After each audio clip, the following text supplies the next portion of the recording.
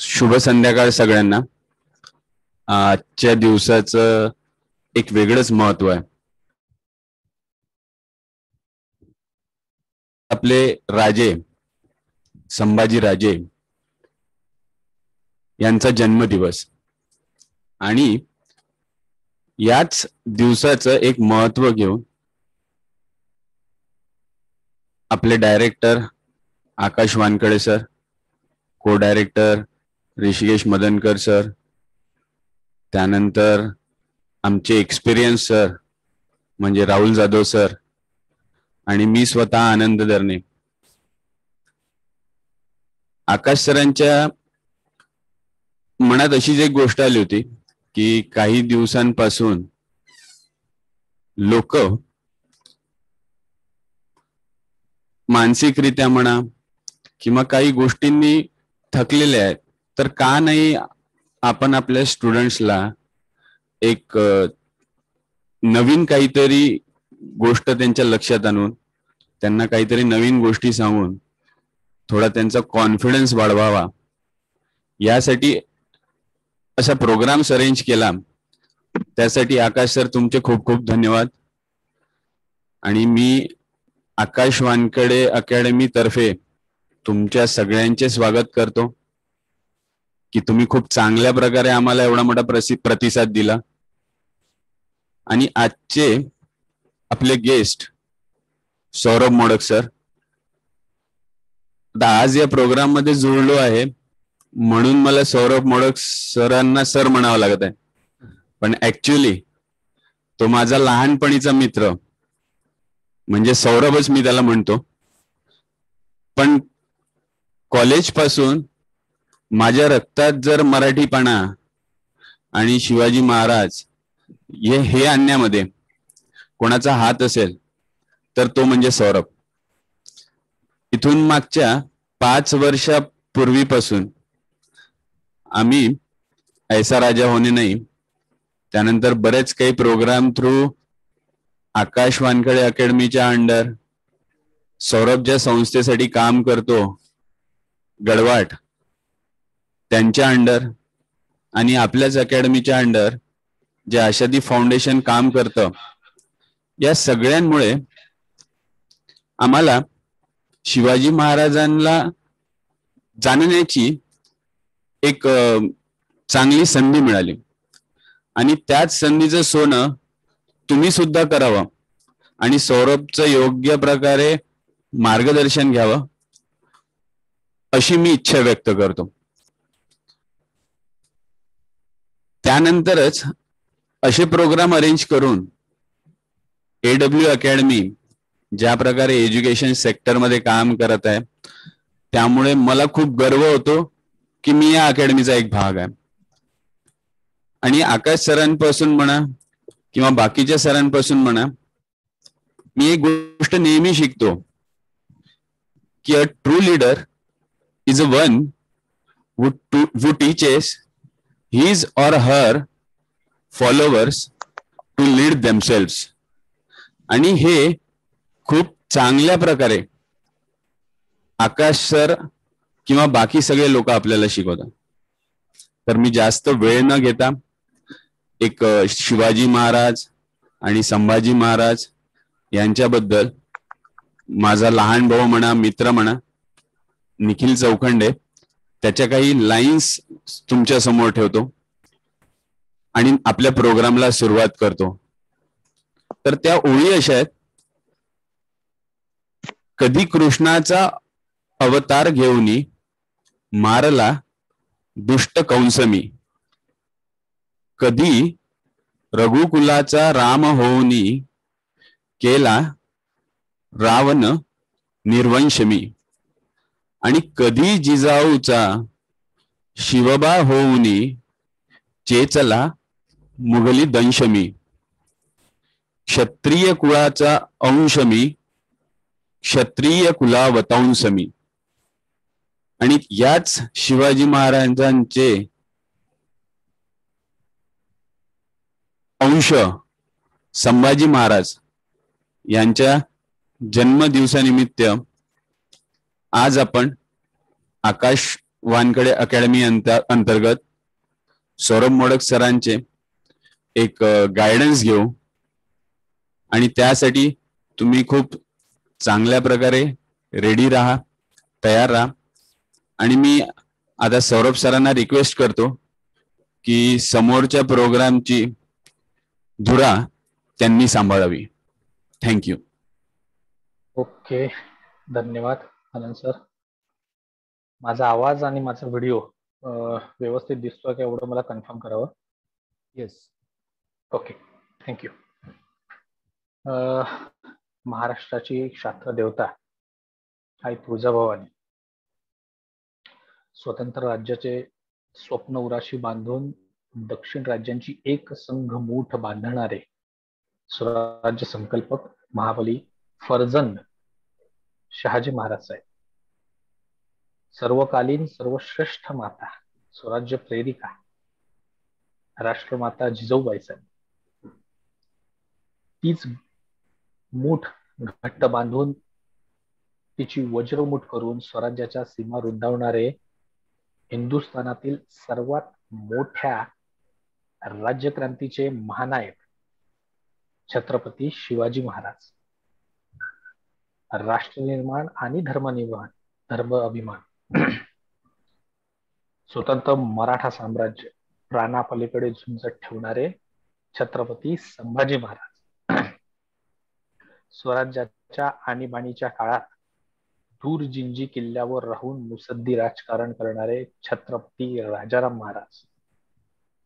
मोगल मर्दिनी महाराणी सरकार ताराराणी बाईसाहेब त्यागमूर्ती महाराणी सरकार येसुबाई साहेब आणि छत्रपतींच्या स्वराज्याचं रूपांतर साम्राज्यात करणारे छत्रपती थोरले शाहू महाराज. या सर्व आठही भोसले पोळ्याच्या व्यक्तींना मी सर्वप्रथम नमन करतो. मी काही गोष्टी तुमच्यासमोर आधी स्पष्ट करू इच्छितो. सर्वप्रथम मी कुठलाही व्याख्याता नाही. व्याख्यान हे माझं उपजीविकेचं साधन नाही. दोन वेळेच्या भाकरीसाठी मी पुण्यात असतो आणि त्यातून माझी दोन वेळची भाकर मी कमवतो. मी इतिहास अभ्यासक नाही. ह्या गोष्टी यासाठी सांगतो आहे की तुमच्याशी बोलताना म्हणजे आकाश वानखडे सरांकडून जे पोस्टर पब्लिश झालं त्यात व्याख्याता नसून परिसंवाद संचालक असं नाव माझं तिथे ठेवण्यात आलं. त्याला त्याच्यामागे कारण आहेत. तर मी इतिहास अभ्यासक नाही. मी इतिहासकार नाही. तर मी एक इतिहास प्रेमी तुम्ही लोक सर्व लोक मला म्हणू शकता. शिवप्रेमी म्हणू शकता शंभू प्रेमी म्हणू शकता शाहू प्रेमी म्हणू शकता. आणि त्याचा एक अंग म्हणून मी आज सर्व तुमच्याशी बोलणार आहे. मला काही गोष्टी ज्ञात नसतील किंवा काही गोष्टी आठवणार नाही. पण संदर्भ माझे चुकणार नाही याची पुरेपूर काळजी मी आज तुमच्याशी बोलताना घेणार आहे. त्याचं एक वेगळं महत्त्व आहे. ते वेगळं महत्त्व मी तुम्हाला माझ्या बोलण्याच्या नंतर सांगेलच. सर्वप्रथम तर मी Akash Wankhede academy Akash sir Madankar sir Rahul Jadhav sir आणि माझे मित्र जसे तुम्हाला त्यांनी सांगितलं. आनंद दरणे सर यांचे आभार मानतो की दहावी आणि बारावीचे विद्यार्थी यांच्या सोबत इंटरॅक्ट करायचा चान्स एक संधी मला उपलब्ध करून दिली. कारण हेच वय असतं ज्या काळात ज्या वयात आपल्याला आपल्या मनावर कशा प्रकारचे संस्कार होतात त्याच्यावरून पुढची गोष्ट ठरते. तर आज तुमच्यासमोर येण्याचं मुख्य कारण म्हणजे स्वराज्याचे दुसरे छत्रपती. छत्रपती संभाजी महाराज यांची आज जयंती आहे. म्हणजे चौदा मे आणि बरोबर चार दिवसांनी स्वराज्याचे चौथे छत्रपती. छत्रपती थोरले शाहू महाराज यांची जयंती आहे. संभाजी पुत्र शाहू महाराज. तर मी आज मुख्यतः या दोन व्यक्तींवर दोन महानुभावांवर बोलण्याचा तुमच्याशी संपर्क प्रयत्न करणार आहे. आणि इतिहास कसा अभ्यासावा इतिहास का अभ्यासावा आणि तो कुठनं अभ्यासावा याच थोडस तुम्हाला एक गायडन्स देण्याचा प्रयत्न करणार आहे. गायडन्स हा शब्द थोडा मोठा ठरतो कारण मी जसं सांगितलं मी इतिहास अभ्यासक नाही. तर मित्रांनो चौदा मे ला छत्रपती संभाजी राजांचा पुरंदर किल्ल्यावर जन्म झाला. आता आजपर्यंत आपल्याला जो इतिहास माहिती झालेला आहे आजपर्यंत जे आपल्याला छत्रपती शिवराय म्हणा भोसले कुळातली कुणीही व्यक्ती म्हणा ते फक्त छत्रपती शिवरायांपर्यंत लिमिटेड राहिलेलं आहे. म्हणजे एक साधारण काळाच्या ओघात जर आपल्याला सांगायला गेलं तर सोळाशे तीस साली आपला महाराष्ट्राचा इतिहास सुरू झालेला आहे आणि सोळाशे ऐंशी साली आपल्या इतिहासकारांनी तो इतिहास संपवलेला आहे. त्यात मुख्यतः तुम्हाला दिसतील अफजल खानाचा चिथळा बोट कापलेली आग्र्यावरून सुटका. या फक्त रक्तरंजित आणि तलवारीचा इतिहास आज आपल्यासमोर सांगण्यात आलेला आहे. पण हा इतिहास एवढाच नाही इतिहास भरपूर मोठा आहे. आणि तेवढाच इतिहास आजपर्यंत आपल्याला सांगण्यात येतो आहे. त्यामुळं आपल्यातली म्हणजे तुमच्यातली माझ्यातली तरुण मंडळी ज्यांना इतिहासात फारसा रस नाही ती लोक याच्याकडे डोकवणी बघत नाही. कारण या सर्व गोष्टींचा जो गाभा आहे तो गाभा आपल्यापर्यंत लोक लोक पोहोचवूच देत नाही त्याचं त्याला कारणीभूत कुठेतरी आपण सुद्धा आहे. कारण आपण फक्त ऐकिव माहितीवर विसंबून राहतो. फक्त ऐकतो. फक्त ऐकतो आपण. आपण वाचत नाही. आपण रेफरन्सेस चेक करत नाही. त्याच्यामुळे आपल्याला कुणीही सहज मूर्ख बनवू शकतो. दुसरी महत्वाची बाब जी मी सुरुवातीला सांगायला हवी होती या पुढच्या जे जे काही मी अर्धा तास चाळीस मिनिटं एक तास तुमच्याशी बोलणार आहे त्याच्यामध्ये मराठा हा शब्द मी जो वापरणार आहे तो कुठेही जातीविषयक शब्द नसेल.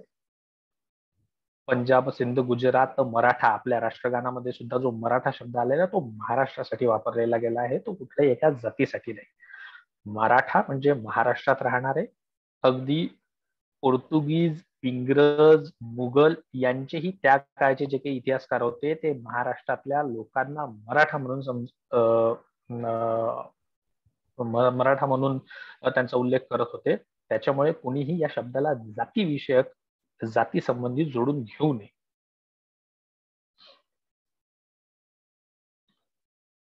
तर तीन एप्रिल सोळाशे ऐंशी साली छत्रपती शिवरायांचं निधन झालं रायगडावर. तिथे आपला इतिहास संपतो.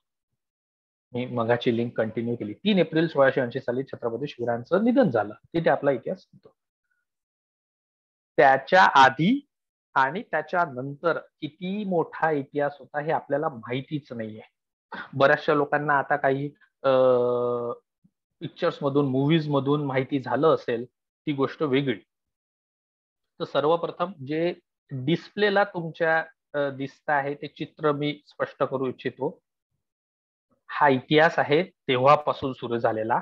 आणि शेवटचं जे मी चित्र दाखवेल व्याख्यानाच्या तो तिथपर्यंत इतिहास असा तब्बल एकशे तीस वर्षांचा इतिहास आपला मराठ्यांचा आहे. आणि आपण त्याला विसरलो किंवा आपण तो जाणून घेण्याचा प्रयत्न नाही करत आहे. या फोटोमध्ये तुम्हाला दिसत आहे की एक गुलाबी कलरचा अंगरखा घातलेले आहेत. ते आहेत महाबली थोर महाबली फरजंद शहाजी महाराज साहेब. ज्या स्त्री तुम्हाला दिसत आहेत त्या राजमाता राष्ट्रमाता जिजाऊबाई साहेब. खाली उभे असलेले छोटे निळ्या अंगरखामध्ये जे तुम्हाला दिसत आहेत ते आहेत. शब्द माझे थोडेसे बारकाईने ऐका. थोरले संभाजी महाराज म्हणजे जिजाऊबाई साहेब आणि शहाजी महाराजांचे सर्वात मोठे पुत्र पहिले. आणि जे लहान बाळ तुम्हाला दिसत आहे ते आहे छत्रपती शिवाजी महाराज तेव्हाचे शिवबा शिवराय. हे चित्र तुम्हाला दाखवण्यामागचं कारण ज्यांनी कोणी अभ्यास केला असेल ज्यांनी जे अभ्यास करणार असतील त्यांना हे चित्र भविष्यात फार उपयोगी ठरते ठरेल. ज्यांना कोणाला याच्या मागे काही प्रश्न असतील या चित्राच्या मागे की हे चित्र का दाखवलं तर तुम्ही क्वेश्चन सेक्शन वापरावेल तेव्हा मला विचारा किंवा नंतरही मला कनेक्ट होऊ शकता किंवा सरांना कनेक्ट होऊ शकता. तर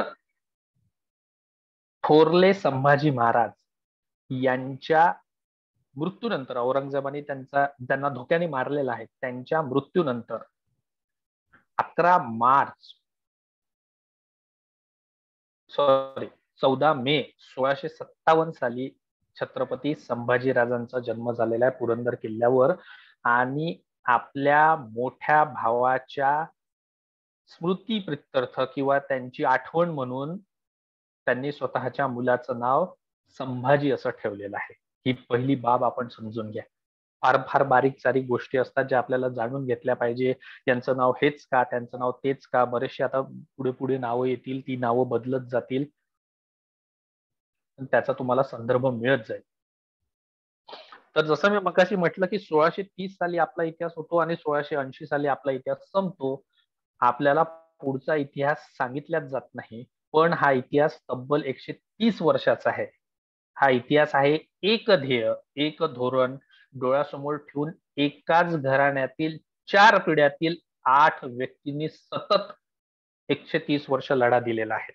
जी मी सुरुवातीला जी नावं घेतली ना ती नावं जाणून बुचून तुमच्यासमोर घेतली. त्यातली बरीचशी नावं हे तुम्हाला अपरिचित असतील ऐकली नसतील तर असा इतिहास जगाच्या पाठीवर आपल्याला शोधणं फार अवघड आहे. असतील. मी नाकारत नाही. कारण इतिहास ही अशी गोष्ट आहे की नवीन नवीन संदर्भ जसे मिळत जातात तसे तसे तुम्हाला इतिहास करेक्ट करत जावा लागतो.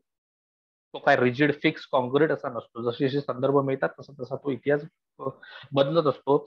तर एकाच पिढीतील चार पिढ्यातील आठ व्यक्तींनी आपल्या सुदृढतेसाठी आपल्या जनतेच्या जनकल्याणासाठी आपल्याला आपल्याला बलिदान दिलेलं आहे. याची जाण तुम्हाला आम्हाला असणं गरजेचं आहे.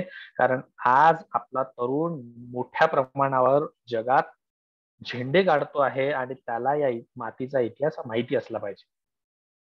आपल्याला संभाजी महाराजांचा इतिहास फक्त बलिदानापुरता सांगितला जातो. कारण संभाजी महाराजांचा शेवटचा काळ कसा गेला? बेचाळीस दिवस जो कवी कुलेशांसोबत कारण बऱ्याचशा लोकांनी सिरियल बघितल्या असतील बरेचशा लोकांनी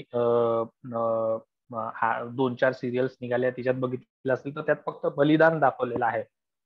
पण बलिदानापेक्षाही मोठं कार्य छत्रपती संभाजी महाराज करून गेलेले आहेत. तुम्हाला तुम्ही पोर्तुगीज नाव ऐकलं असेल पोर्तुगीज. तर आपल्या देशामध्ये मोगल जे होते मुघल औरंगजेब बादशाह म्हणा शहाजहान म्हणा हे आपले पारंपरिक शत्रू होतेच. पण मोगल काही नवीन नव्हते आलेले. मोगल तेव्हाच होते. आपण म्हणतो की भारतामध्ये सर्वात क्रूर सत्ताधीश हे मोगल होते.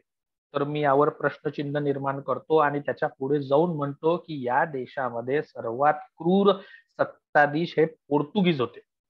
जर आपल्यापैकी बरीचशी जण गोव्याला जातात आपल्यापैकी बरीचशी जण दीव देमणला जातात जेव्हा तुम्ही तिथे जाता तेव्हा तिथे तिथल्या स्टॉल्समध्ये छोटी छोटीशी पुस्तकं मिळतात.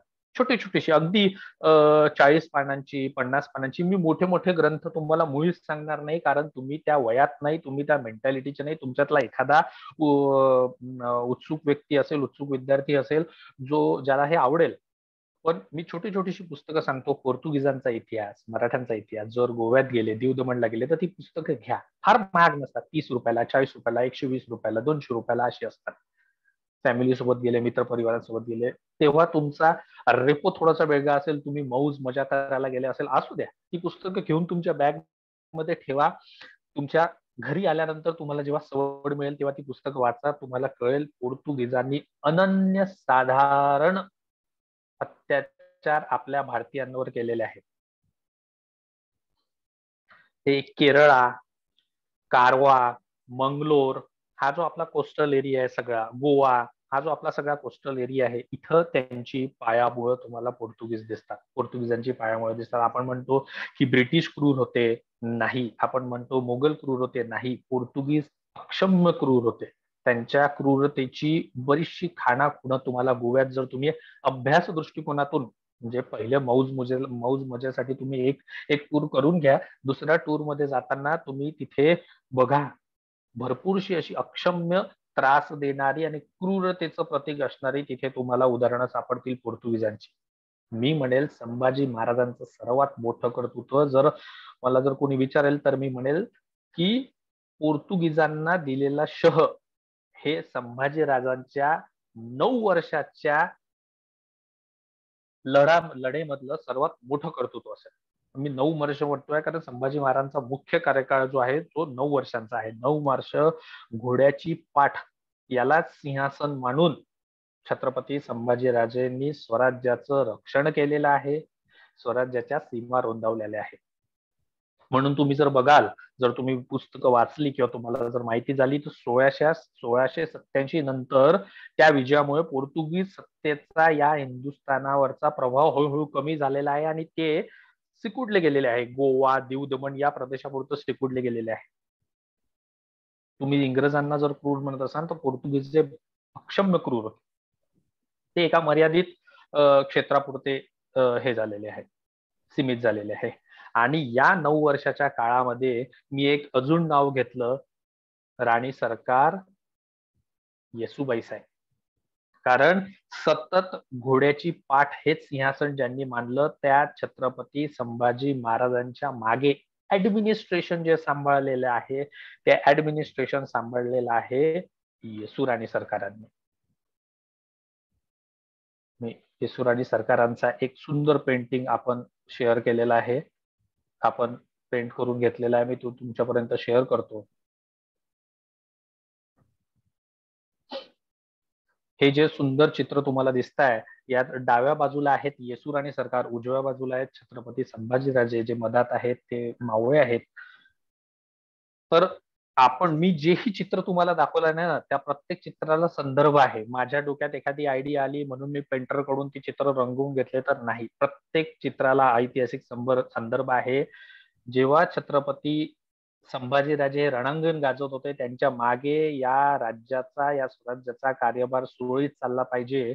म्हणून म्हणून जिजाऊबाई साहेबांनंतर स्वराज्याच्या जे ऍडमिनिस्ट्रेशन सांभाळलं आहे ते येसुराणी सरकारांनी सांभाळलेलं आहे. आपल्या आपल्या आजच्या परिसंवादामध्ये बऱ्याचशा मैत्रिणी असतील माझ्या बऱ्याचशा विद्यार्थिनी असतील त्या वुमेन एम्पॉवरमेंटच्या गोष्टी करतात. तर या वुमेन एम्पॉवरमेंटच्या ऍक्च्युअल इम्प्लिमेंटेशन हे स्वराज्यापासून तेव्हाच्या सोळाशे ऐंशी सालापासून आपल्या महाराष्ट्रामध्ये होताना दिसत आहे. हे कट्यार कट्यार म्हणजे ही महत्वाची मानली जायची आणि शिक्के अधिकाराचे शिक्के म्हणजे कुठलंही खत लिहिलं कुणालाही ऑर्डर दिली त्याच्यानंतर जो शिक्का लागतो तो शिक्का तुम्हाला या चित्रामध्ये दिसत असेल. त्याचे महत्त्वाचे अधिकार हे येसुराणी सरकारांना दिलेले आहे त्यावेळेस. छत्रपती शिवरायांची जी पद्धत होती छत्रपती शिवरायांची जी पद्धत होती ती पद्धत तुम्हाला जर दिसत असेल तर ती होती कुठल्याही एका शत्रूला अंगावर घ्यायचं आणि बाकीच्या शत्रूंना तह करायचा. त्यांच्याशी त्यांच्याशी त्यांचा तह करायचा त्यांच्याशी बोलणी चालू ठेवायची एका शत्रूला अंगावर घ्यायचं. पण छत्रपती संभाजीराजांचं याच्या पूर्णपणे विरोध विरोधात होतं. छत्रपती संभाजीराजांना समोर मोगल होते. म्हणजे मी कार्यकाळ सांगतो आहे की तुम्ही जाणून घ्या मी छत्रपती शिवराय हे अतुलनीय होते. अतुलनीय म्हणजे त्यांची तुलना कुणाच सोबत होऊ शकत नाही. या हा विचार मनामध्ये घट्ट पकडून तुम्ही माझं संभाषण ऐकावं असं माझी इच्छा आहे. मी कुणाशीही कल कंपॅरिझन छत्रपती शिवरायांशी करत नाही आहे. पण छत्रपती शिवरायांच्या नंतरचा काळ तुम्ही बघा. छत्रपती संभाजी राजांनी जेव्हा लढा दिलेला आहे तेव्हा समोर मुघल आहे. डाव्या हाताला सिद्धी आहे. पाठीमागे पोर्तुगीज आहे आणि उजवा हात जो आपला सर्वात महत्त्वाचा हात असतो त्या हाताशी स्वकी आहेत. त्याच वेळेस स्वकीयांशी ते झुंज देत आहेत. म्हणजे छत्रपती शिवरायांनी जे अष्टप्रधान मंडळ निर्माण केलं होतं त्या अष्टप्रधान मंडळातली बरीचशी मंडळी ही घातपाताला उतरली होती. छत्रपती संभाजी राजांच्या केवळ काही गैरसमजुतींमुळे. स्वराज्य किती मोठं होतं? आणि स्वराज्याची भीती ही किती चिरंताळ कळली याचं पोर्तुगीजांनी तेव्हाच्या गव पोर्तुगीज गव्हर्नरनी नमूद करून ठेवलेलं आहे. तीन एप्रिल सोळाशे ऐंशी ला जेव्हा छत्रपती शिवरायांचं निर्माण झालं त्यावेळी गोव्याचे जे पोर्तुगीजचा गव्हर्नर होता तो म्हणला की मी एकेरी शब्द उच्चारतो आहे. त्याचं कारण असं की त्या त्या पत्रांमध्ये तसा एकेरी उल्लेख आहे. ते म्हण ते म्हणतात की शिवाजीच्या मरण्यामुळे हे राज्य काळजीमुक्त झालं आहे. हे गोव्याचे पोर्तुगीज गव्हर्नर तेव्हा म्हण तेव्हा म्हणतात हे तुम्हाला पोर्तुगीज आर्काईव्हमध्ये सहज मिळते सहज मिळेल म्हणजे यावरून तुम्हाला आपल्या स्वराज्याचा व्याप्त व्याप्तता किती मोठी होती यावरून कळत.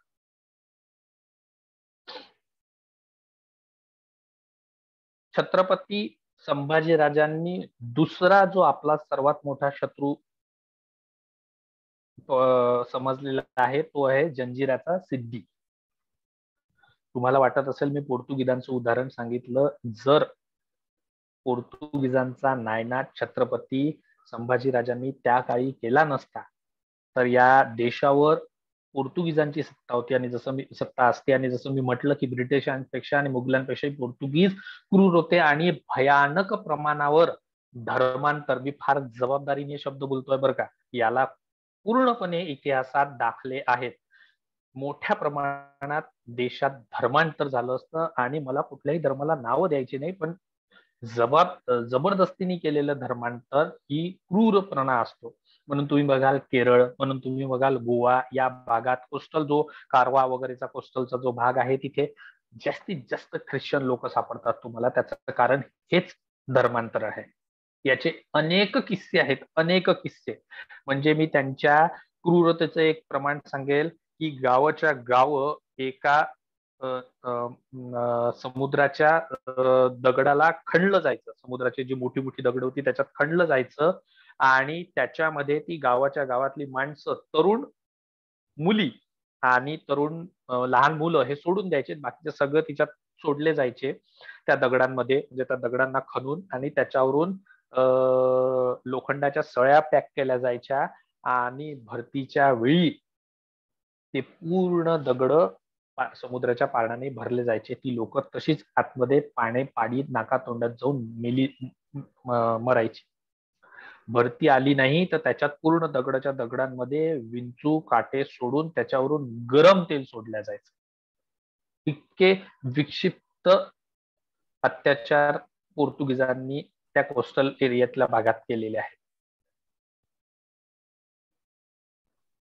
छत्रपती संभाजी राजांच्या हातात जेव्हा सत्ता आली आणि त्यांचा रायगडावर जेव्हा राज्याभिषेक झाला तेव्हा मुघलांमधला जो बादशाह होता मुघलांचा बादशाह तो औरंगजेब स्वतः सात लाखाचं सैन्य घेऊन आलेला आहे.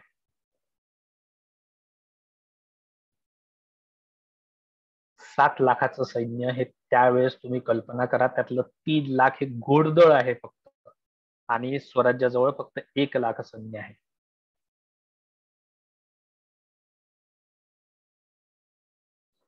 आपल्याला जेव्हा सांगितलं जातं की संभाजीराजांचं बलिदान कसं झालं? संभाजीराजांचं त्यांनी धर्मासाठी कसं बलिदान दिलं? त्यावेळेस मला हे सांगावं वाटतं की बलिदानाच्या आधी हा सर्व इतिहास आम्ही आपण छत्रपती संभाजीराजांचा समजून घेतला पाहिजे. छत्रपती संभाजीराजे कवी म्हणायचे आहेत कोवळ्या म्हणायचे आहेत तापट स्वभावाचे आहेत. त्यांना सांभाळण्याचं काम हे येसुराणी सरकारांनी केलेलं आहे. छत्रपती शिवरायांचा आणि छत्रपती संभाजी महाराजांचा बलिदानाचा जो काळ आहे तो कुणीही नाकारत नाही. पण ह्या लोकांच्या मागे जी भोसले कुळातली अनेक मंडळी खंबीरपूर्णपणे उभी राहिलेली आहे त्यांना त्यांचा विसर करून आपल्याला चालणार नाही.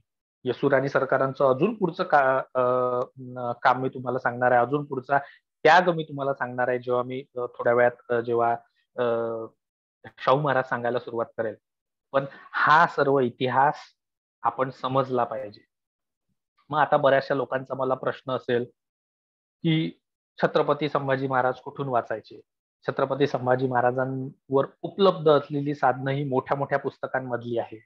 मोठ्या मोठ्या ग्रंथांमधली आहे. तर छत्रपती संभाजी महाराजांचं नाव घेतलं की आपल्यासमोर येतं फक्त छावा आणि संभाजी. ह्या दोन कादंबऱ्या. याच्या व्यतिरिक्त आपल्याजवळ कुठलंच पुढचं डॉक्युमेंटेशन येत नाही. मग आपल्याला छत्रपती संभाजी महाराजांची जयंती आली की छत्रपती संभाजी महाराजांनी ऐंशी लढाया लढल्या एकशे वीस लढाया लढल्या एकशे पंच पन्नास लढाया लढल्या.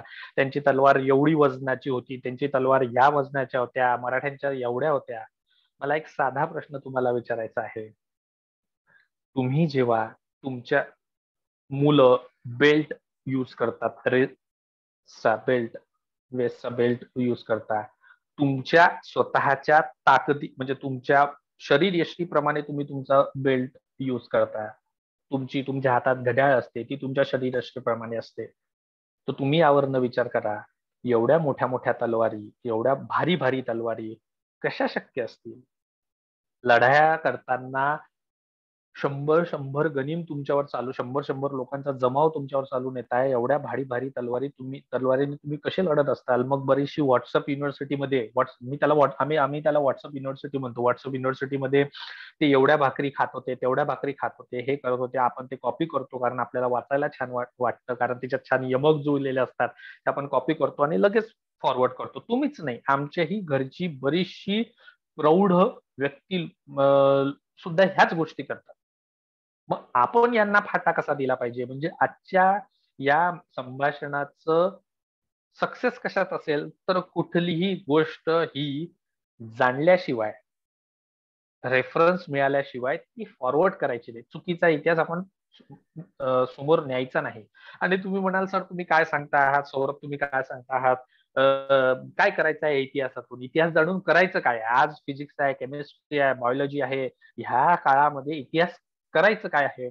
तर त्याच्यातून तुम्हाला त्यांचं ऍडमिनिस्ट्रेशन कळतं. हा प्रश्न तुम्हाला पडणं पूर्णपणे बरोबर आहे. त्याचं कारण असं की आपल्या इतिहासकारांनी किंवा आपल्या आजूबाजूच्या असलेल्या तथाकथित इतिहासकारांनी तथाकथित शिवप्रेमींनी आपल्यासमोर त्याच गोष्टी आणलेल्या. अफजल खानाचा वध. मी जसं सुरुवातीला बोललो आता तुम्हाला वाटत असेल की हा बुवा बोलतोय याही बुवाची दाढी वाढलेली आहे केस वाढलेली आहे. हा लॉकडाऊन इफेक्ट आहे. मी दिसायला थोडासा बरं आहे. म्हणजे थोडा व्यवस्थित राहतो. तर ना लॉकडाऊन इफेक्ट आहे. लॉकडाऊनमुळे माझी केस दाढी सगळे वाढलेले आहे. शृंगार करा. नक्कीच करा. पण हातात गाडीवर मागे बसायचं झेंडा घेऊन फिरायचं शिवजयंती आली संभाजी महाराज जयंती आली तो हातावरचा झे हातातला झेंडा सोडून हातात पुस्तक घ्यायचं आम्हाला ज्यांनी शिकवलं आम्ही आम्ही म्हणजे मगाशी आनंद सरांनी ज्या कार्यक्रमांचा उल्लेख केला त्या कार्यक्रमांमध्ये काही महत्वाची म्हणजे महत् त्या कार्यक्रमाला एक अनन्य साधारण महत्त्व होतं. ते महत्त्व असं होतं की त्या कार्यक्रमामध्ये जो घेतला होता तो आमचे गुरु दुर्ग महर्षी प्रमोद मांडे सर.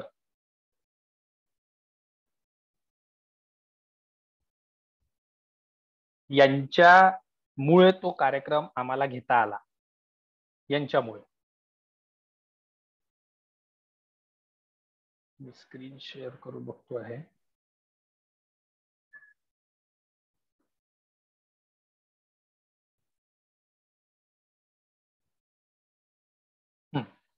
हे आमचे गुरु म्हणजे इतिहास या क्षेत्रामध्ये आमचे दीपस्तंभ आमचे मार्गदर्शक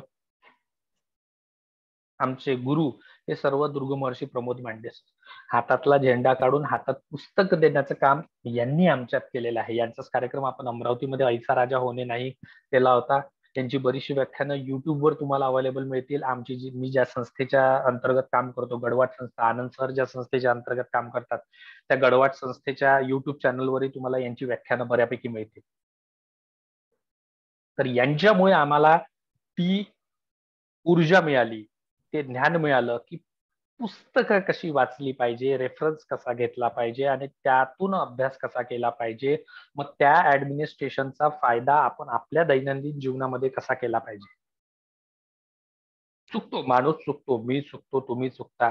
पण आज छत्रपती संभाजी महाराज आणि शाहू महाराजांच्या जयंती निमित्त तुम्हाला या दोन चार गोष्टी जरी घेता आल्या की सर्व बाजूनी तुम्हाला जे प्रॉब्लेम्स असतात ते प्रॉब्लेम्स कसे फेस करायचे आणि त्याच्यातून कसा मार्ग काढायचा याचं जरी याच तरी थोडस ज्ञान किंवा याच्यातून एवढा जरी धडा तुम्हाला मिळाला तरी भरपूर असेल. आपला जो वेळ कमी आपला अर्धा तास संपला आता आपल्याकडे फक्त वीस ते पंचवीस मिनिटं आहे. ते वीस पंचवीस मिनिटामध्ये याच्या पुढचं कॅरेक्टर आपण घेणार आहोत ते कॅरेक्टर बऱ्याच कमी लोकांना माहिती आहे. बऱ्याच कमी लोकांना. कारण त्या कॅरेक्टरबद्दल आजपर्यंत आपल्याला कोणी सांगितलंच नाही. त्या कॅरेक्टरबद्दल आजपर्यंत कुणी आपल्याला माहितीच करून दिलं नाही. त्या कॅरेक्टरचं नावच आपल्या जवळ आलेलं नाही.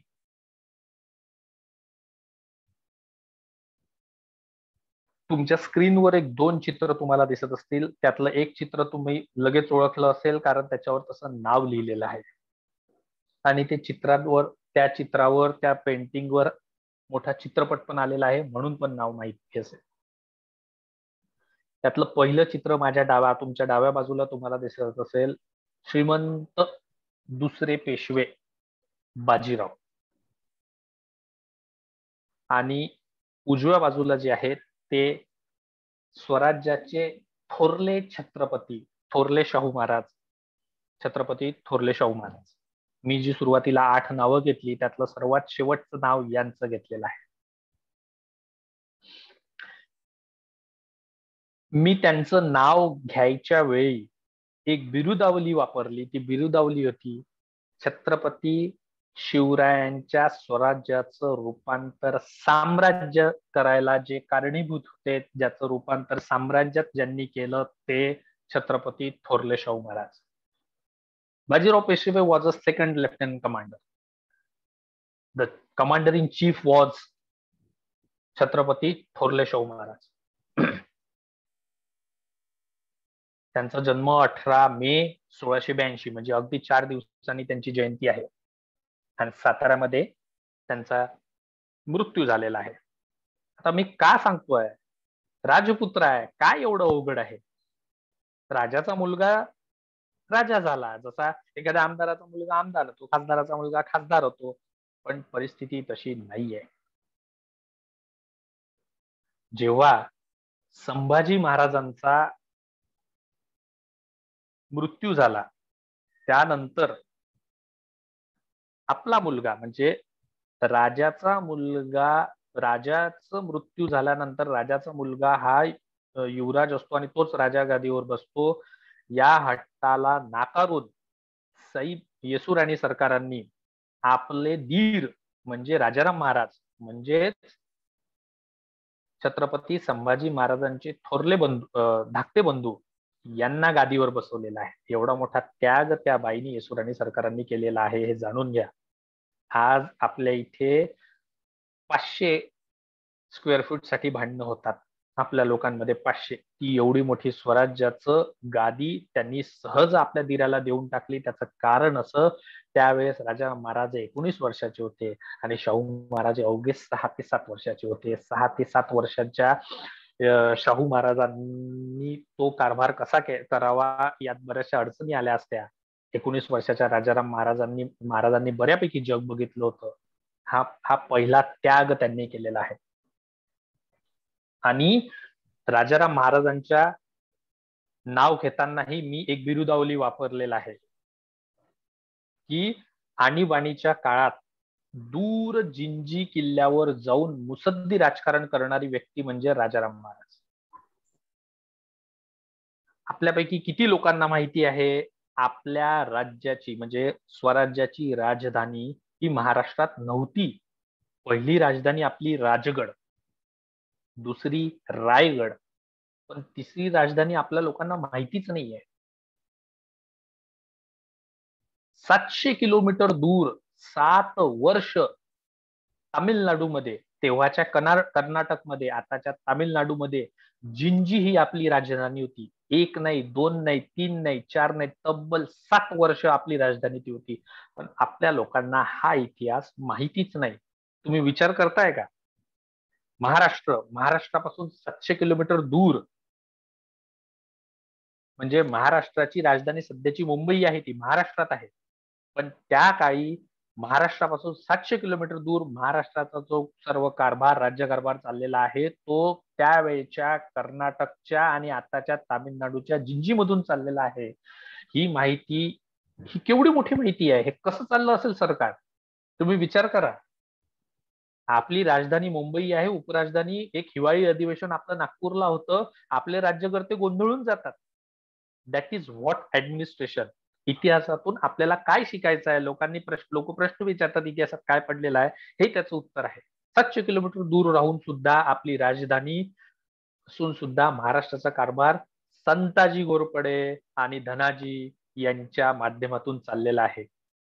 एकोणीस वर्षाचं पोरग एकोणीस वर्षाच्या पोराला आपल्याला इकडे आज बुटाची लेस बांधतात. एकोणीस वर्षाचं पोरग स्वराज्याचा छत्रपती होतो आणि स्वराज्याचा छत्रपती बनून सातशे किलोमीटर दूर राहून एक नाही दोन नाही सात वर्ष दीड मी मी फार फार जपून शब्द वापरतोय. दीड लाखाच्या सैन्याला सैन्याला ससेमिरा देऊन राजाराम महाराज रायगड ते जिंजीचा प्रवास करतात आणि जिंजीवरून आपला राज्यकारभार चालतो. म्हणून ह्या लोकांची या भोसले कुळातल्या लोकांचा वंदन मी ज्या सर्व लोकांना केलं हे त्यासाठी गरजेचं आहे. दॅट इज व्हॉट ऍडमिनिस्ट्रेशन मुसद्दी राजकारणी आहे शांत स्वभावाची आहे. चिडणं नाही आपल्या आपल्या म्हणजे छत्रपती घराण्यातली म्हणजे राज स्वराज्याची दोन छत्रपती धारात ती पडलेली आहे. तोपर्यंत महाराष्ट्राच्या तोपर्यंत महाराष्ट्राच्या राजकारणात देशाच्या राजकारणात एवढी क्रूर हत्या बेचाळीस वर्ष बेचाळीस दिवस छळ छळ करून एवढी क्रूर हत्या कुठल्याही राजाची झालेली नव्हती सरदारांची झालेली आहे. पण एवढी क्रूर हत्या कुठल्याही राजाची झालेली नव्हती. त्यानंतर आपल्या सर्व लोकांचं आपल्या सर्व सरदारांचं मनोधैर्य उंचावणं आणि आपली राजधानी रायगडावरून जिंजीला ट्रान्सफर करणं तिथून राज्यकारभार चालवणं ही सोपी बाब नाही. पण आमच्या इतिहासकारांनी म्हणजे जी लोक आता इतिहास वाचतील कादंबऱ्या वाचतील. कादंबऱ्या शक्यतो टाळाव्या. पण आमच्या अठराव्या आणि एकोणीसाव्या शतकातल्या इतिहासकारांनी अफुबाज ठरवलेला आहे. अफुबाज. नशा करणारा असं ठरवून मोकळे होऊन गेलेले आहे राजाराम महाराज.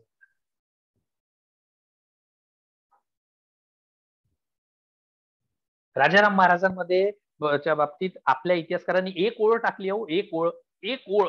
आणि त्या एका ओळीवर राजाराम महाराजांसाठी एक ओळ शाहू महाराजांसाठी एक ओळ संभाजी महाराजांच्या बदनामी बद्दल एक ओळ. त्याच्यावर पन्नास पन्नास नाटक आपल्या नाटककारांनी सादर केलेली आहे.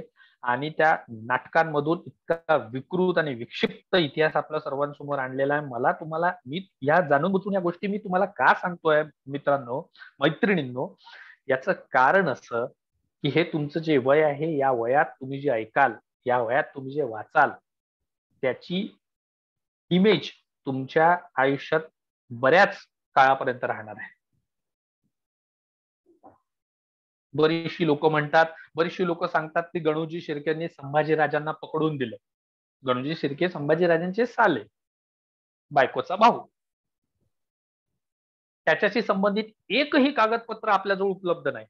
पण कुठल्याही कागदपत्र नसताना आपले जुने इतिहासकार किंवा आपले जुने इतिहास माहिती नसणारे अर्धवट माहिती असणारे लोक सबसेल गणूजी शिर्क्यांचं नाव घेतात पण त्याच गणूजी शिर्क्यांचं बरीचशी कागदपत्र उपलब्ध असताना राजाराम महाराजांना ज्यांनी महाराष्ट्रात आणलं ते महाराष्ट्रात आणलेले हेच गणूजी शिर्के ही माहिती आपल्यापर्यंत येऊ देत नाही आता तुम्हाला ही नावं बऱ्यापैकी अडचणीची असतील बऱ्यापैकी समजून घेताना त्रास होत असेल. कारण गणूजी शिर्के कोण राजाराम महाराज कोण इथूनच मूळ पायाच तुमचा थोडासा वीक असल्यामुळे ह्या गोष्टी तुम्हाला कदाचित माहिती नसतील. पण मी हे जाणून बुजून थोडस डोक्यावरून गेलं तरी तुम्हाला मला सांगणं हे गरजेचं आहे. त्याचं कारण हेच की तुम्हाला इतिहास समजून घेताना कुणीही तुम्हाला सोप्या पद्धतीने मूर्ख बनवलं गेलं नाही पाहिजे. याच्या याच कारणांमुळे मी तुमच्यासमोर हे गोष्टी मांडतोय. कुणी येऊन सांगावं अमुक अमुक गोष्टी सांगाव्या सातशे भाकरी आठशे भाकरी पन्नास पन्नास चाळीस सत्तर सत्तर भाकरी संभाजी राजा संभाजी महाराज साहेब खात होते. असे व्हॉट्सअप मेसेज फिरतात आणि आपण फॉरवर्ड करतो. शक्य आहे का? हो कितीही ध्येयष्टी असली तरी ह्या गोष्टी शक्य आहे का? आणि एवढं खाऊन अपचन होणार नाही का? म्हणजे काय म्हणतात स्पीड हे संभाजी महाराज त्यानंतर राजाराम महाराज त्यानंतर थोरले दुसरे पेशवे बाजीराव त्यांचा हो प्लस पॉईंट होता. या तीन लोकांचा प्लस पॉईंट काय होता? स्पीड. सत्तर सत्तर ऐंशी ऐंशी भाकरी खाऊन कोणी स्पीड मेंटेन करू शकणार आहे का? तुम्ही एखाद दिवशी तुमच्या आवडीचं अन्न खा तुम्हाला बघा आळस आल्यासारखा वाटतो. शक्य आहे का ते? तर यासाठी हे संदर्भ या गोष्टी आपण जपासल्या पाहिजे.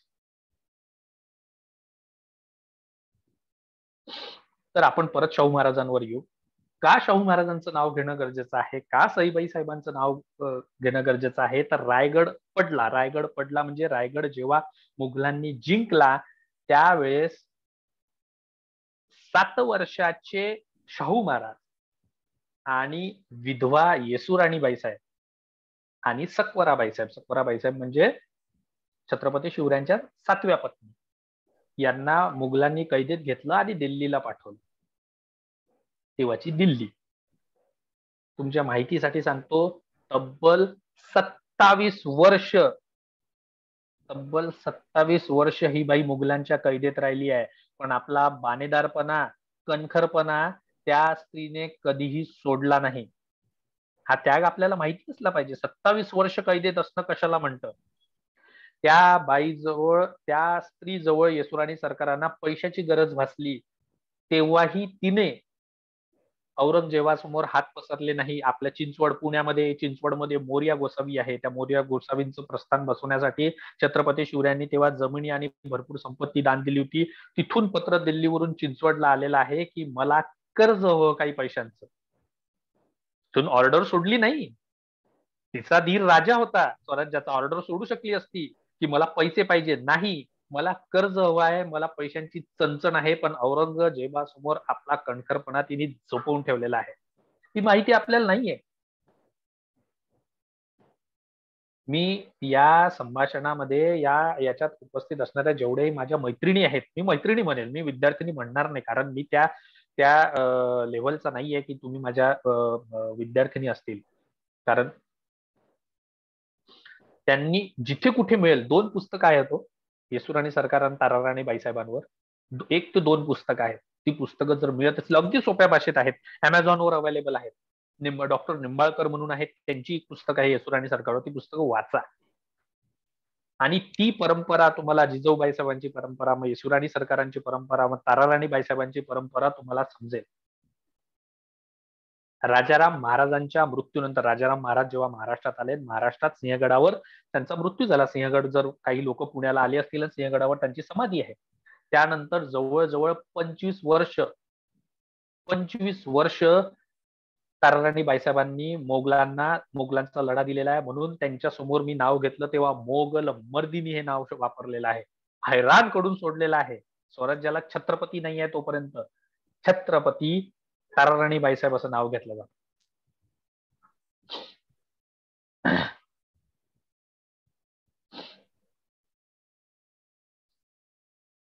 तर सत्तावीस वर्ष कैदेत राहिल्यानंतर येसुराणी सरकारांनी आपल्या मुलाला म्हणजे शाहू महाराजांना सुक अन्न खाऊ घातलाय सुक अन्न. या संभाषणामध्ये काही जर मोठ्या स्त्रिया असतील तर त्यांना कल्पना असेल आपल्या मुलाबाळांना दूध फ्रूट ज्यूस ओलं अन्न किती महत्वाचं आहे. सुक अन्न सतरा वर्ष खाऊ घातलं त्याचं कारण असं सत्तावीस वर्ष त्या कैदेत होत्या सतरा वर्ष शाहू महाराज कैदेत होते. शाहू महाराजांची नंतर सुटका झालेली आहे. शाहू महाराज महाराष्ट्रात आलेले आहेत. त्याचं कारण असं की विषबाधा आपल्या मुलाला होता नये. पुढचा छत्रपती आपण जगतोय याची जाण येसुराणी सरकारांना मोगलांच्या कैदेत असताना सुद्धा राहिलेली आहे.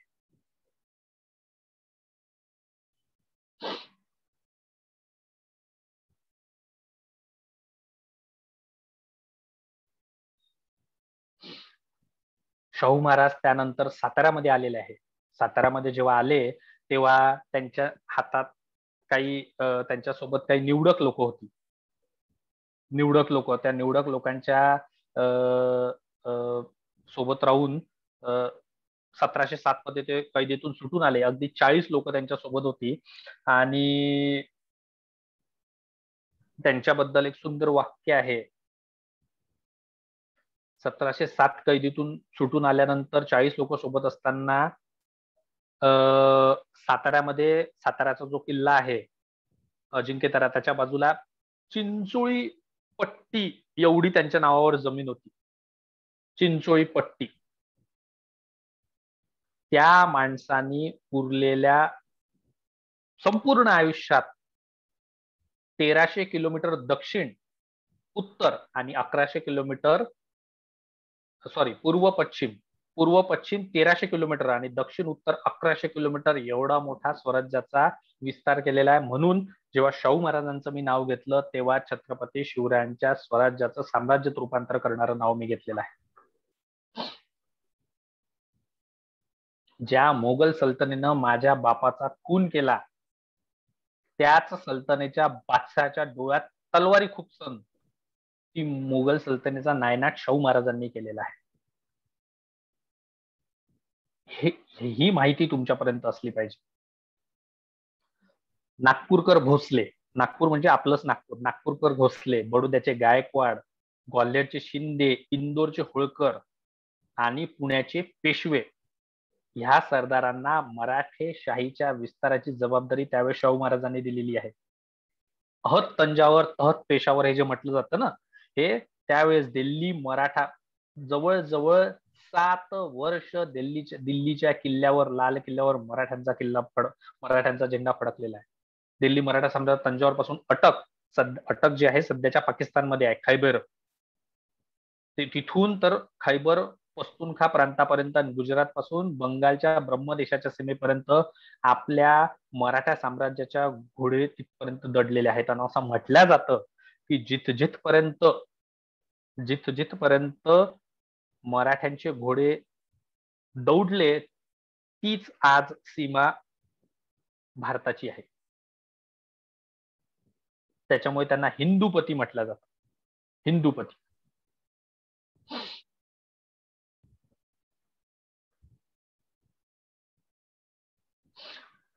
पोर्तुगीज लिहितात सतराशे सात साली जेव्हा शाहू महाराज सुटून आले मी सतत सांगतोय पोर्तुगीज इंग्रज. तर ते यासाठी सांगतोय किंवा पोर्तुगीज आणि इंग्रजांच्या ज्या लेखणी होत्या त्या तटस्थ होत्या. कारण आपले पारंपरिक शत्रू मुघल होते आणि आपले आपले जे काही बऱ्यापैकी लोक होती ती आपल्या बाजूनी लिहायची. मुघलांची मुघलांच्या बाजूने लिहायची. म्हणून मी पोर्तुगीज आणि इंग्रजांच्या लेखणी तुम्हाला सांगतोय. पोर्तुगीज लिहितात सतराशे सात साली शाहू जेव्हा सुटून आले तेव्हा आज म्हणजे सतराशे एक्केचाळीस ला. सतराशे सात साली या शाहू जवळ जमिनीची चिंचुळी पट्टी होती साताऱ्याच्या किल्ल्या बाजूला आणि आज म्हणजे सतराशे एक्केचाळीस साली हा शाहू संपूर्ण हिंदुस्थानाचा राजा आहे. पस्तीस वर्षात या माणसानं साम्राज्य उभं केलेलं आहे. परंतु त्यावेळेस इंग्रज हे शाहू महाराजांचे मित्र होते. पोर्तुगीज लिहितात की ब्रिटिशांशी लढा उभं करणं म्हणजे शाहूंशी लढणं आणि शाहूंशी लढणं म्हणजे अख्ख्या हिंदुस्थानाशी लढणं. आपले इतिहासकार जे आहे ते शाहू महाराजांना पुण्यश्लोक म्हणून मोकळे होऊन गेलेले आहे बेचाळीस वर्ष हिंदुस्थानाचा राजा म्हणून ज्यांनी बिरुदावली मिरवली त्या राजाचं नावच आपल्याला माहिती. त्यांच्याबद्दल आपल्याला म्हणजे बऱ्याचशा लोकांनी त्यांचं हे चित्र पाहिलेही नसेल. परत स्क्रीन शेअर करतो.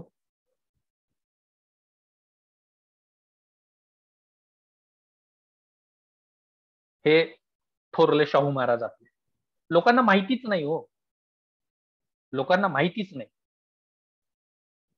कोण शाहू महाराज?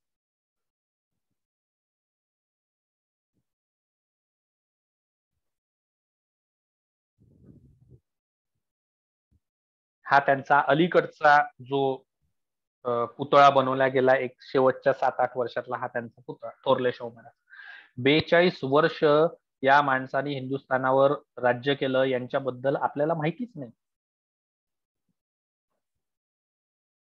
सत्तावीस वर्ष सईबाई साहेबांनी येसुराणी सरकारांनी मुघलांच्या कैदेत घालवली स्वराज्याचा पुढचा छत्रपती द्यायला हे आपल्याला माहिती नाही. म्हणून सांगतो सोळाशे तीस साली सुरू झालेला सोळाशे तीस आणि त्याच्या आधी एक वीस एक वर्ष म्हणजे शहाजी महाराज साहेबांचा कार्यकाळ सुरू झालेला जो आपला मरा मराठ्यांचा इतिहास आहे तो पंधरा डिसेंबर सतराशे एकोणपन्नास ला संपला. आणि त्यानंतर पेशवेशाही सुरू झालेली आहे. आपल्याला वाटतं की बाजीराव पेशवे होते तेव्हा पेशवेशाही नाही. सतराशे एकोणपन्नास पर्यंत ही शाहूशाही होती. आणि त्यानंतर पेशवे. पेशवे निश्चित मोठे होते. बाजीराव पेशवे हे स्वामीनिष्ठा काय असावी याचं उत्तम उदाहरण म्हणजे पेशवे. बाजीराव पेशवे. म्हणजे आपण त्या मूवीमध्ये बऱ्यापैकी बघितलेलं आहे. त्यावेळेस निंबाळकर राजे शिर्के नागपूरकर भोसले ग्वाल्हेरचे शिंदे अशी बरीच आप्त मंडळी असताना थोरल्या शाहू महाराजांनी एक सतरा अठरा वर्षाच्या घाऱ्या डोळ्याच्या मिसरूड न फुटलेल्या मुलाकडे पाहून त्याच्या डोळ्यातला आत्मविश्वास बघून त्याच्याकडे पेशवेपद दिलेलं आहे. आणि शाहूंनी आपल्याला जे पेशवेपद दिलेलं आहे ते कसं चुकीचं नाही हे बाजीरावांनी आपल्या आयुष्यभर हयातमध्ये जपलेलं आहे. आणि त्याच शाहू महाराजांचा राजाराम महाराजांनी ज्यांना आपल्या मांडीवर खेळवलं. शाहू महाराजांनी ज्यांची मुंज केली. शाहू महाराजांनी ज्यांचं शिक्षण लावून दिलं. शाहू महाराजांनी ज्यांचं लग्न आपल्या एका सहकार्या सहकारी म्हणजे ज्यांच्याकडून स्वराज्याची कर्ज घेतलेला त्याच्या मुलीसोबत लावून गेलं. त्याच नानासाहेब पेशवेंनी घात केला पंधरा डिसेंबर सतराशे एकोणपन्नास साली. बाजीरावांचं नाव यासाठी मोठं आहे. बाजीरावांचा एक फार रंजक किस्सा आहे. बऱ्याचशा लोकांना मी हा शेवटचा किस्सा सांगतो आणि थांबतो. बऱ्याचशा लोकांना उदयपूर आणि जयपूर ही दोन शहरं राजस्थानातली माहिती असेल. त्यावेळेस मराठा सरदार हे त्यांच्याकडून खंडणी वसूल करायचे. खंडणी वसूल करणं म्हणजे आम्ही तुम्हाला संरक्षण देतो. त्या बदल्यात तुम्ही आम्हाला अमुक अमुक पैसा वर्षाला द्यायचा. जयपूरला बाजीराव गेलेत आणि जयपूरला बाजीराव गेल्यानंतर तिथल्या राजांनी त्यांच्या स्वागतासाठी एक मोठं सिंहासन आणि त्याच्या बाजूला सॉरी पहिले उदयपूरला गेले. उदयपूरला गेले आणि उदयपूरला उदयपूरच्या राजांनी एक मोठं सिंहासन त्यांच्यासाठी तयार केलं होतं आणि ते दुसऱ्या एका साधारण सिंहासनावर बसले होते. बाजीराव पेशवे तिथे गेले त्यांचं सगळं आदर तिथं स्वीकारलं आणि आदर तिथं स्वीकारल्यानंतर बाजीराव पेशवे बाजूला ठेवलेल्या चांदीच्या एका स्टूलवर जाऊन बसले. आणि बाजीरावांसोबत असलेल्या बऱ्याचशा मंडळींनी बाजीरावांचे जे युद्धनीती गुरु होते पिलाजीराव जाधवराव तिथेच नांदेडमध्ये नांदेडचे जे होते पिलाजीराव जाधवरावांनी तो सगळा कारभार झाल्यानंतर सर्व सर्व लोकांसमोर लोकांना आश्चर्य वाटलं की सिंहासन खाली असताना बाजीराव पेशवे त्या गादीवर बसले कसे नाही? तर मग जेव्हा एकांतात उदयपूरचे राजे होते तेव्हा त्यांनी विचारलं कि पेशवाजी आप क्यू बैठे नाही? वहां पे सिंहासन पे क्यू बैठे नाही? तो त्यांनी उत्तर दिलं तुमची जी गादी आहे ती महाराणा प्रतापांची गादी आहे. आणि महाराणा प्रताप हे आमच्या शिवरायांचे आदर्श होते. त्यामुळे त्या गादीवर बसण्याचा अधिकार छत्रपती घराण्याचा आहे म्हणजे शाहू महाराजांचा आहे. मी शाहूंचा सेवक आहे त्याच्यामुळे मला त्याचा अधिकार नाही म्हणून मी बाजूच्या स्टूलवर बसतो. ही बातमी सर्वीकडे पसरली. त्यानंतर त्यांचा जो काफिला होता त्यांचा जो सर्व गोतावळा होता तो जयपूरला गेला. जयपूरच्या राजांनी चुकून म्हणजे जयपूरच्या राजाने जाणून बुचून असंच एक सिंहासन तयार केलं आणि त्या सिंहासनाच्या बाजूला एक स्टूल ठेवला चांदीचा स्टूल. आणि त्यांचा आदर तिथं केला. आदर तिथं केल्यानंतर बाजीराव पेशव्यांना म्हटलं की सिंहासनावर बसा. बाजीराव पेशवे तडक जाऊन त्या सिंहासनावर बस. मग परत तो सगळा आदर तथ्य सगळा कार्यक्रम आटोपल्यानंतर पिलाजीराव जाधवांनी त्यांना प्रश्न विचारला की उदयपूरला असताना तुम्ही त्या सिंहासनावर बसला नाही. मग जयपूरला असताना त्या सिंहासनावर कसे बसलात? तर त्यावर बाजीरावांचं उत्तर फार फार लक्ष देण्यासारखं आहे. उदयपूरची गादी ही महाराणा प्रतापांची गादी आहे. त्याच्यावर बसण्याचा अधिकार फक्त फक्त हा छत्रपतीचा जसं मी आधी सांगितलं आणि जयपूरची गादी ही मुघलांच्या तुष्ट अन्न खाणाऱ्या सरदारांची आहे ज्यांनी आपली सगळी निष्ठा ही मुघलांच्या पायाशी ठेवली. त्यामुळे त्या गादीवर बसण्याचा माझा अधिकार आहे. हे असं एक उदाहरण आहे. बुंदेलखंडचं उदाहरण घ्या. बुंदेलखंडच्या उदाहरणात त्या त्या मूवीमध्ये बुंदेलखंडच्या त्या बाजीराव पेशवाच्या थोडासा चुकीचा इतिहास दाखवलेला आहे. रेफरन्सेस अवेलेबल नसतात. त्यामुळे त्या अशा गोष्टी घडतात. मान्य आहे. बुंदेलखंड म्हणजे जी बुंदेलखंडचे जे राजे होते ते छत्रपती शिवरायांकडे त्यावेळेस आलेले होते त्यांचं पूर्ण कुटुंब मोगलांनी मारून टाकलेलं होतं आणि बुंदेलखंडच्या त्या राजा शिवरायांना गुरु मानलं आणि शिवरायांनी त्यांना तीर कामठा म्हणजे धनुष्य चालवायला शिकालं सर्व शस्त्रास्त्रांचं ऍडमिनिस्ट्रेशनचं सगळं नॉलेज दिलं आणि त्यांना सांगितलं की तू राजपूत आहेस.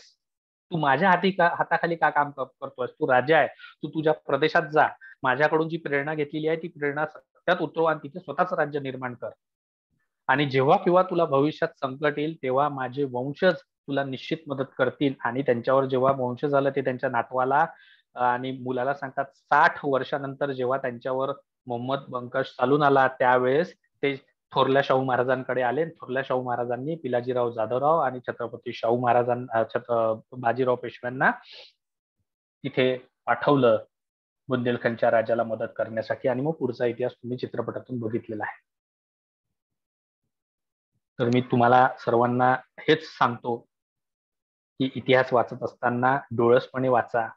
इतिहासातून बऱ्याचशा गोष्टी शिकण्यासारख्या आहेत. इतिहासातून इतिहासातून माहिती जितकी घेऊ शकाल तेवढी घ्या. कुणाच्या ऐक्यू इतिहासावर व्हॉट्सअप युनिव्हर्सिटीवर विश्वास ठेवू नका. पुस्तकांमधून ते नॉलेज घेण्याचा प्रयत्न करा. तुम्हाला बरंचसं मिळेल शिकण्यासारखं मिळेल. केवळ गाडीवर बसून एकोणीस फेब्रुवारीला भगवी झेंडे घेऊन फिरण्या म्हणजे छत्रपती शिवरायांचे मावळे नाहीत त्यांचा हा ते झेंडे झेंडा निश्चित असला पाहिजे ते आपलं प्रतीक आहे. पण आवाज करत फिरणं दुग्ध अभिषेक करणं मी अरे मी मी हा मुद्दा विसरलो माफ करा. आज आपल्या लोकांना मोठ्या प्रमाणावर असं सांगे सांगितलं देवत्वाकडे छत्रपती शिवरायांची छत्रपती संभाजी महाराजांची प्रवास चाललाय देवत्वाकडे. त्यांना माणूस म्हणू द्या माणूस म्हणूनच राहू द्या. जेव्हा देव दैवी शक्ती दे, देवत्व त्यांना जेव्हा प्राप्त केलं जातं तेव्हा त्यांनी केलेला पराक्रम हा दैवी शक्तीत रूपांतर होतो. जे आज रामकृष्णांचं म्हटलं जातं ते देव होते. त्यांचा जो पराक्रम आहे तो आपण ते देव होते म्हणून आणि त्यांच्या ज्या त्यांचे पराक्रम आहे त्या दैवी शक्ती म्हणून सोडून देतो. पण ही माणसं होती. यांनी केलेला जो पराक्रम आहे तो एका सर्वसामान्य माणसाने केलेलाच पराक्रम आहे त्याच्यातून प्रेरणा मिळते आणि त्याचं करण्याची आपल्याला प्रेरणा मिळाल्यामुळे तसा करण्याचा प्रयत्न आपण करतो. म्हणून त्यांना माणूसच राहू द्या. ते थोर पुरुष होते ते महामानव होते. तुम्ही असं सर्व काही त्यांना बिरुदावले द्या. पण दैवत्वपासून या थोर महामानवांना दूर ठेवा. एवढंच मी तुम्हाला सांगतो. काही चुकलं असेल माझ्या निश्चित लक्षात आणून द्या. कारण मी आधीच सांगितलं मी इतिहासकार किंवा इतिहास अभ्यासक नाही मी इतिहास प्रेमी आहे. काही सुटलं असेल तर मी परत अभ्यास करून तुमच्यापर्यंत येण्याचा प्रयत्न करतो. आणि माझे जे काही तोडके मोडके शब्द होते ते संपवतो. जे काही चांगलं बोललो असेल ते माझ्या गुरूंचं दुर्गमहर्षी प्रमोद मांडेंचं. जे काही चूक झाली असेल ती माझी असेल. एवढंच बोलून थांबतो. आणि संभाजी महाराज आणि शाहू महाराजांच्या जयंतीच्या सर्वांना शुभेच्छा देतो आणि इथे थांबतो. जय जिजाऊ जय शिवराय. आनंद सर. धन्यवाद सौरभ सर. तुम्ही खूप चांगल्या प्रकारे आमच्या स्टुडंट्सला गायडन्स केलं. आणि मित्रांनो जो मुद्दा सौरभ सरांना सांगायचा होता ते ना आपल्या सोळा सतरा आणि अठरा या वयाच्या स्टेजवर आपल्याला खूप ठिकाणी बघायला मिळतं. शिवाजी महाराज जयंतीच नाही तर पंधरा ऑगस्ट म्हणा सव्वीस जानेवारी म्हणा त्यानंतर कोणताही सण असो म्हणजे पूर्ण भारतामध्ये जर तुम्ही शिवाजी महाराज जयंती बघितली रामनवमी बघितली डॉक्टर बाबासाहेब आंबेडकर जयंती बघितली किंवा मोहरम बघितला मग तो गणेशोत्सव असो मग तो दुर्गोत्सव असो यामध्ये आपल्या लोकांमध्ये असं काय त्यांच्या अंगामध्ये येतं आणि ज्यामुळे लोकांना खूप त्रास होतो अशा गोष्टी आपण कधीच करू नये. जो ध्वज आपल्या समाजाचं प्रतीक आहे तो ध्वज फिरवताना दुसऱ्या कोणाला त्याचा त्रास होऊ नये याची खबरदारी आपण घ्यायला हवी. आणि हे आपल्यासारख्या यंग मुलांचं महत्त्व आहे. ही गोष्ट नेहमी लक्षात ठेवा. हा खूप महत्त्वाचा संदेश सौरभ सरांनी आपल्याला दिलाय. आणि ही माहिती म्हणजे पाठ केलेल्या कविता पाठ केलेले वाक्य याच्यापेक्षा पुढे आहे. प्रॅक्टिकली शिवाजी महाराज संभाजी महाराज राजाराम महाराज हे कसे होते? हे आपल्याला काही ना काही त्यांच्याबद्दलचे पुस्तकं वाचून त्यांच्याबद्दलचे पुरावे वाचून तेव्हाच कळेल. ही गोष्ट नेहमी लक्षात ठेवायची. आणि या गोष्टीला आपल्याला आपल्या समोरच्या जनरेशनमध्ये पण ट्रान्सफर करायचं आहे तेव्हाच खरे शिवाजी महाराज म्हणा तेव्हाच खरे डॉक्टर बाबासाहेब आंबेडकर म्हणा तेव्हाच खरे संभाजी महाराज हे आपल्या मध्ये राबतील तेव्हाच हे शक्य आहे. ही गोष्ट नेहमी लक्षात ठेवायची. तर आपण आपला प्रोग्राम न वाढवता काही लोकांनी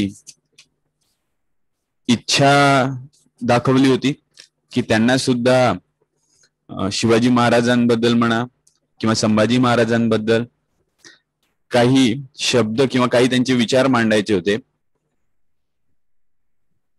तर त्यांनी they should they raise their hand तसे नावं मी काढलेले आहेत.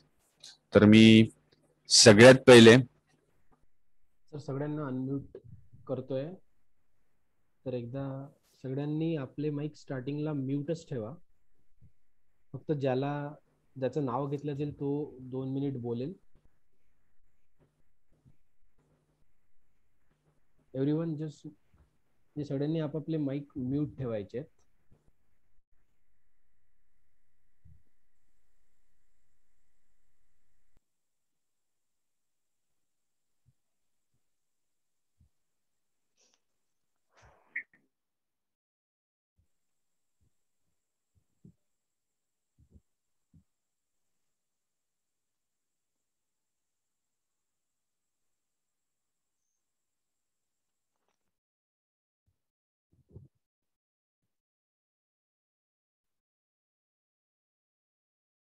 Anand sir.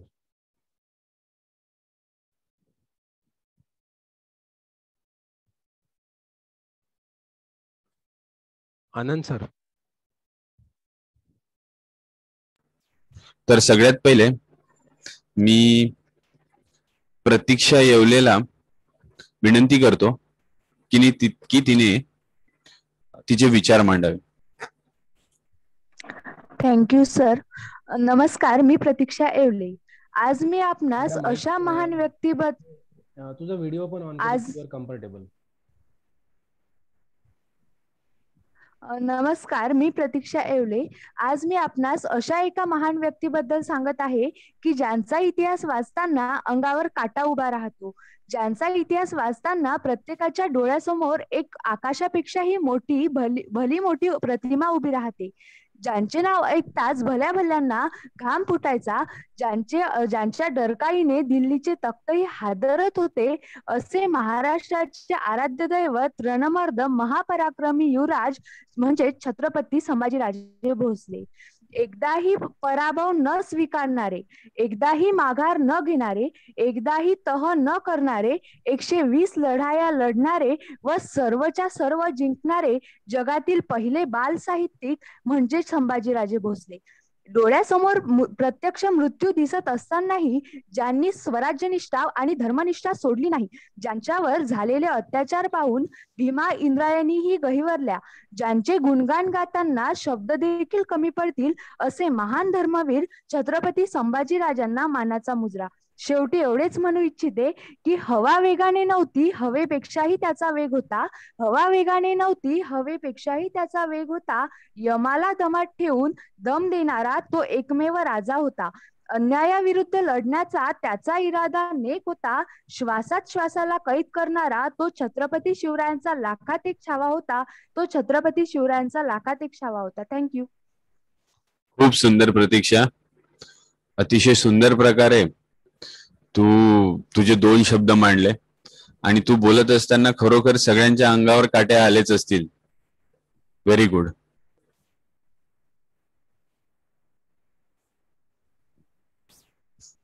next Mahesh Gavhane. बेटा तुझा व्हिडिओ ऑन कर आणि अनम्यूट कर.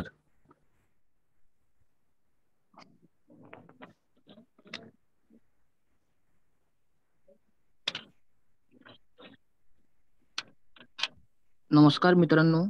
जसे की आपल्याला माहीत आहे की आज हिंदुस्थानचे आराध्य दैवत तथा स्मृतिस्थान धर्मवीर संभाजी महाराजांची जयंती. देश धर्म पर मिटने वाला शेर शिवा का छावा था देश धर्म पर मिटने वाला शेर शिवा का छावा था महापराक्रमी परम प्रतापी एक ही शंभू राजा था महापराक्रमी परम प्रतापी एक भी शंभू राजा था सर्वप्रथम छत्रपती धर्मवीर संभाजी महाराजांना जयंतीनिमित्त त्रिवार मानाचा मुद्रा. मित्रांनो मी तुम्हाला आज शूरवीर संभाजी महाराज यांच्याविषयी एक कविता सादर करणार आहे. त्यामुळे माझी ही विनंती आहे की तुम्ही ते चांगल्या पद्धतीने ऐकावी. अमावस्येच्या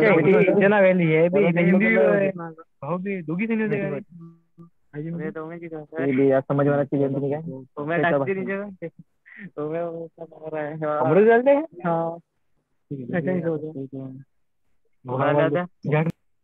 गो अहेड बेटा. Hello sir yes yes go ahead अमावस्येच्या अंधारातून तेज पुरुष हा लखलका लखलकला अमावस्येच्या अंधारातून तेज पुरुष हा लखलकला यमालाही पडले कोडे कुठे उगवली ही ज्वाला? यमालाही पडले कोडे कुठे उड उगवली ही ज्वाला?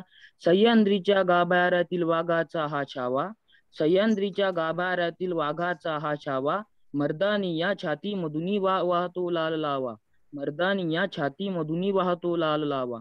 एक एक शब्द एक एक शब्द शंभूचा जणू तलवार झुंजावी रणी एक एक शब्द शंभूचा जणू तलवार झुंजावी रणी त्याहून तिष्णत नजर ती जडली जखमी वाघावानी. त्याहून तिशी नजर ती जडली जखमी वा गावानी.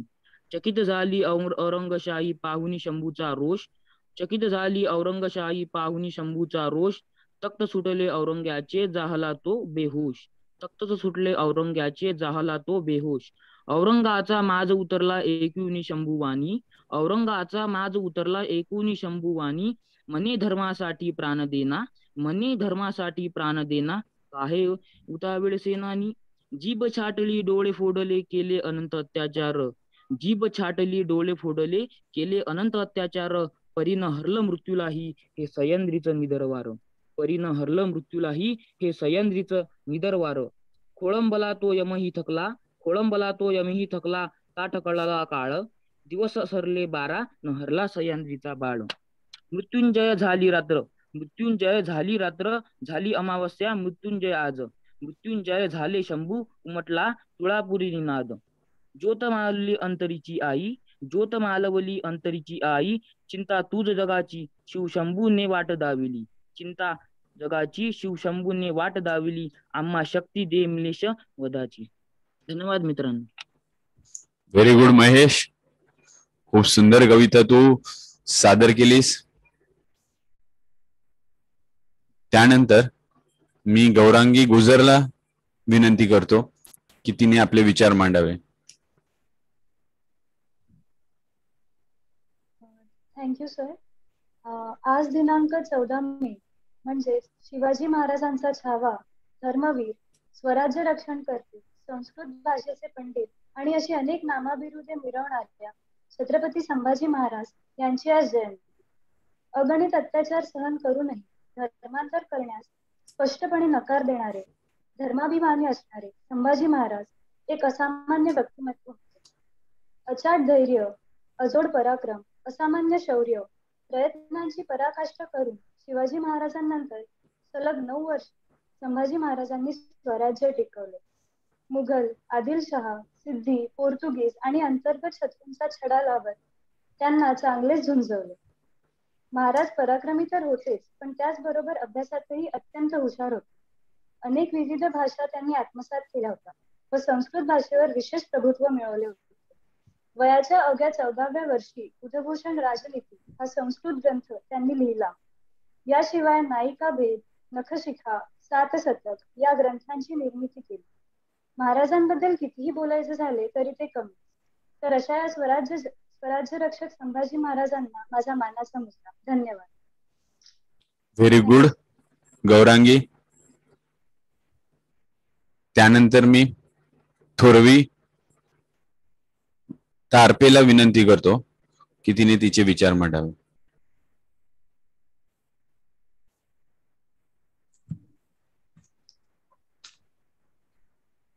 थँक्यू सर तर आदरणीय महोदयांच्या साक्षीने मी थोरवी मनोज टारपे श्री संभाजीराजे यांच्या जयंती निमित्त थोडक्यात गुणगान करते. ते असे की इसवी सन सोळाशे सत्तावन्नच्या काळातील पृथ्वीवर जन्मलेल्या झंझावात अत्यंत देखणा शूरवीर विद्याविशारद धुरंधर साधू संतांचा आदरभाव राखणारा महावीर ज्यांनी इंग्रज पोर्तुगीज व मुसलमान यांच्या सक्तीने धर्मांतरास शह दिला. तर औरंगजेबासारख्या सामर्थ्यवान शत्रूविरुद्ध न भूतो न भविष्यती झुंज दिला.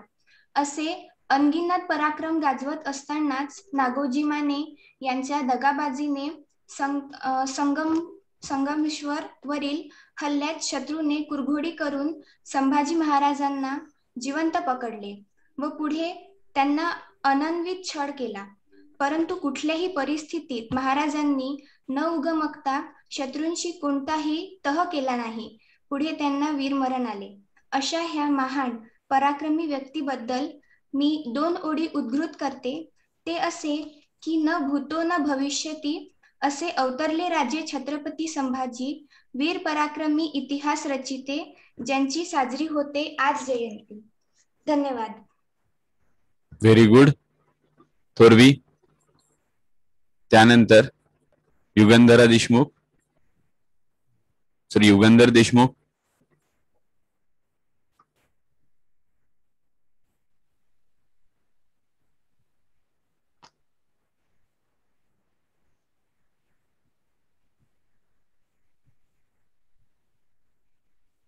हा युगंधर. स्टार्ट कर बेटा. नमस्कार. उपस्थित माझ्या सर्व मराठी बंधवांनो भगिनींनो आणि मातांनो आज चौदा मे धर्मवीर संभाजी महाराजांची जयंती. ही वीर गाता त्या धर्मवीराची जो छत्रपती शिवाजी महाराज आणि सईबाईच्या पुढे जन्मला. दोन वर्षाचा असताना आई गेली. आजी जिजाऊने स्वतःच्या छत्रछायात वाढवलं. संस्कारात मोठं गेलं. वयाच्या दहाव्या वर्षी माझ्या शंभू राजाला मराठी उर्दू कन्नड हिब्रू पाली संस्कृत इतकंच नाही तर इंग्रजांनी लिहून ठेवलाय माझ्या महाराजाला. खणखणीत इंग्रजी सुद्धा येत होती. बुधभूषण श्री गणेशावर संस्कृतामध्ये लिहिलेला ग्रंथ म्हणजे बुधभूषण सुद्धा माझ्या महाराजांनी शंभू राजांनी लिहिला. नकशिका सात शतक हे सुद्धा ग्रंथ माझ्या महाराजांनी त्यावेळेस लिहून ठेवले. वयाच्या चौदाव्या वर्षी बुधभूषण ग्रंथ संस्कृतमध्ये लिहून श्री गणेशांचं त्यांनी वर्णन केलं.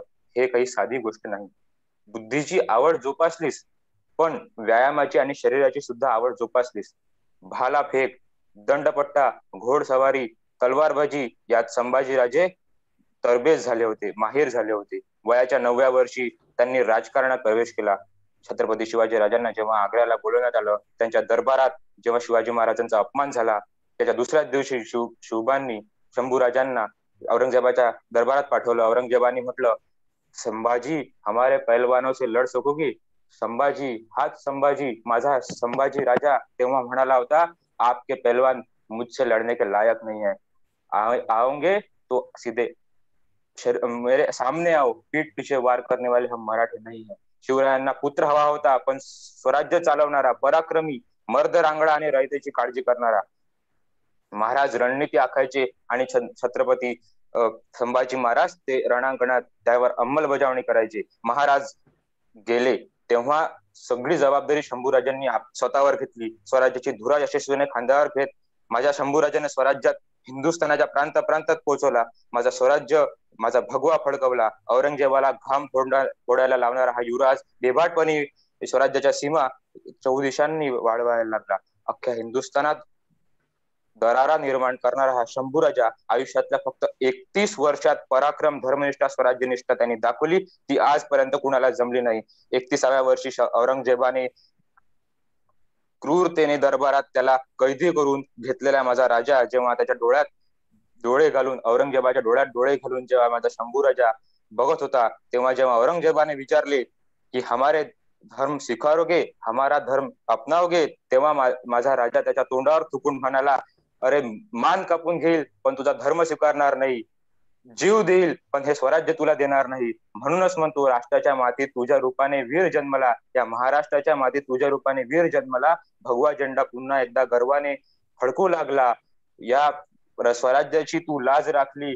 प्राण तागिले देवा स्वराज्याची तू राज लागली प्राण तागिले देवा माझ्यासारख्या या मावळ्याचा मानाचा मुजरा घ्यावा. माझ्यासारख्या या लहानशा मावळ्याचा मानाचा मुजरा घ्यावा. धन्यवाद. जय हिंद जय महाराष्ट्र. व्हेरी गुड युगंधर त्यानंतर आपण आकाश सर माझ्या मते आपण अजून दोन ते तीन लोकांना चान्स द्यायचा की कंटिन्यू करायचे सगळे. त्यानंतर मी रिक्वेस्ट करतो. कृष्णाई सदारला.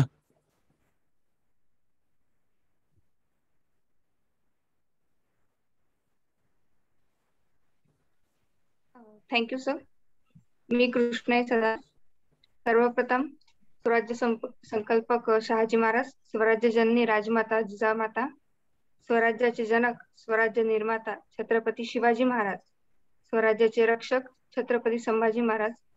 या सर्वांना मानाचा मुजरा.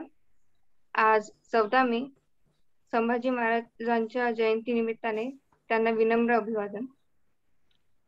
हा जो हा उपक्रम घेतल्याबद्दल सर्वप्रथम एडब्ल्यूच्या संपूर्ण टीमला धन्यवाद. आजच्या या कोरोनाच्या काळात त्या पॅन्डेमिक पिरियडमध्ये सर्वजण मानसिकरित्या खूप खचलेले होते. त्यामुळे अशा ह्या प्रोग्राममुळे सर्वांना एक शक्ती मिळते. एक एक त्यांना धैर्य येते धैर्य येते.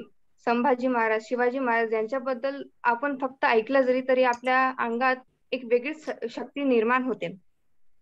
आजकालच्या नवीन पिढीला असे भाषण म्हणा किंवा असे व्याख्यान ऐकणे हे खूप गरजेचे आहे. कारण की आजकालची जी नवीन जनरेशन आहे त्यांना ह्या इतिहासाबद्दल फार काही माहीतच नाहीये. आणि जे काही माहीत आहे ते चुकीचं किंवा जे चुकीच्या पद्धतीने लिहिलेला इतिहास आहे तेवढाच माहिती आहे. संभाजी महाराज हो शाहू महाराज हो यांच्याबद्दल फार काही लिहिलेलं नाहीये फार काही इतिहासात त्यांची नोंद नाही आहे. असेल तेही खूप चुकीची की ते ते व्यसनी आहेत किंवा आणखीन काही अशा पद्धतीची आहे. त्यामुळे खरा इतिहास काय आहे हे समोर आणणे ही खूप गरजेचे आहे जे आपल्या डब्ल्यूच्या टीमने केलेलं आहे. आणि हे फक्त ऐकणेच महत्त्वाचे नाही तर यांचे जे विचार आहे ते आत्मसात करणे ही खूप गरजेचे आहे. जसं सौरभ सरांनी आपल्याला सांगितलं की एकोणीस फेब्रुवारी असो चौदा मे असो या तारखेंनाच फक्त लोकांना शिवाजी किंवा संभाजी महाराज हे आठवतात. आणि तेही फक्त डीजे लावून किंवा झेंडे घेऊन रॅल्या काढणे फक्त एवढ्यापुरतेच आठवतात. त्यांचे खरे विचार जे आहेत ते ते जाणून पूर्णपणे जाणून असतात असे नाही. त्यामुळे हे करणे ही ठीक आहे फिरायला करणे झेंडा करणे पण ते शांततेने करावे. आणि ते करतानाच ते त्याच्यासोबतच असे प्रोग्राम्स की व्याख्यान भाषणे हे घेणे ही खूप आवश्यक आहे. ज्याच्यामुळे नवीन पिढी जी आहे यांना खरा इतिहास माहीत होईल. आणि ते खोट्या नाट्या जे काही सांगणारे आहेत त्यांना प्रत्युत्तर देऊ शकेल. आणि जसा आपण म्हणतो की इलेव्हन्थ ट्वेल्थ नाईन टेन्थ हे मुलांचा टर्निंग पॉईंट असतो. तर हा फक्त करिअरसाठीच टर्निंग पॉईंट नसून ह्या अशा गोष्टींसाठीही टर्निंग पॉईंट असतो. कारण की ह्या दिवसात जे आपल्यावर जे आपण ऐकतो जे आपण बघतो तेच आपल्या डोक्यात फिट होते एका प्रकारे. तो चुकीचा इतिहास जरी असला तरी त्यामुळे ह्या दिवसात किंवा ह्या वयातच असे ऐतिहासिक व्याख्या व्याख्यानं अशा ऐतिहासिक भाषणं हे ऐकणे अत्यावश्यक आहे. आणि मी एक माहिती देऊ इच्छिते जसं सौरभ सरांनी त्यांच्या भाषणामध्ये गणोजी शिर्के यांचं नाव घेतलेलं होतं. तर माझ्या मित्रांना एक माहिती देऊ इच्छितो की ते फक्त त्यांचे संभाजी महाराजांचे साडेच नसून त्यांचे त्यांचे बहीण जवळ हो, पण होते. त्यांची राजकोर नावाची बहीण गणोजी शिर्केंना दिली होती. तर हे एवढे दोन शब्द बोलून मी माझे दोन शब्द इथे संपवते. Thank you so much sir thank you Krishnai त्यानंतर मी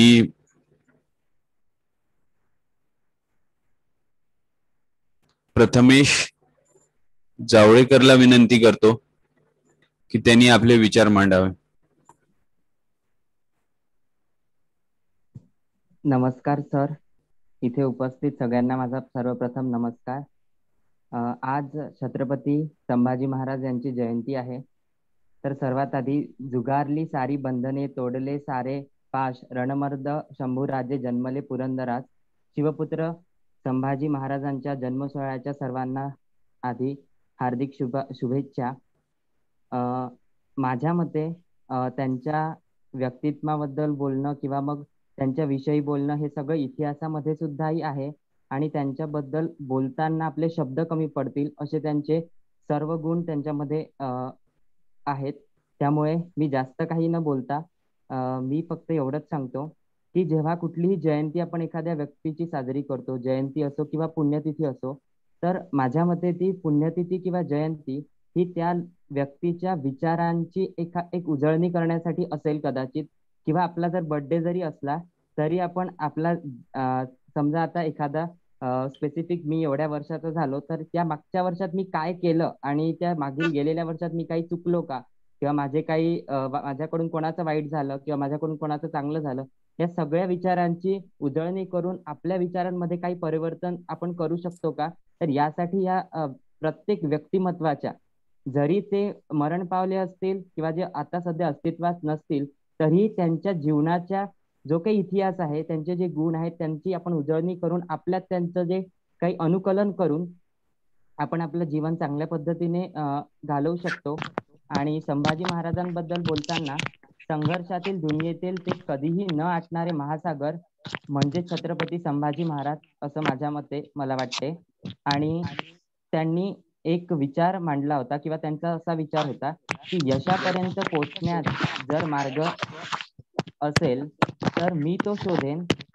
जर कोणताही मार्ग नसेल तर तो मी बनवेल. जरी कुठलाही मार्ग नसला तरी तो मार्ग मी माझ्या स्वतःच्या हाताने बनवेल आणि त्या यशाला गाठेल. आणि परिस्थिती कुठलीही असो मी माझं सामर्थ्य मी माझं जे काही बळ आहे ते इतकं प्रबळ कळेल की जेणेकरून ते यश सुद्धा माझ्यापर्यंत पोहोचण्यासाठी प्रयत्नशील असेल.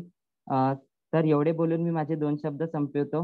सर्वात आधी थँक्यू सर सगळ्यांनी मला बोलण्याचा चान्स दिला त्याबद्दल. Thank you so much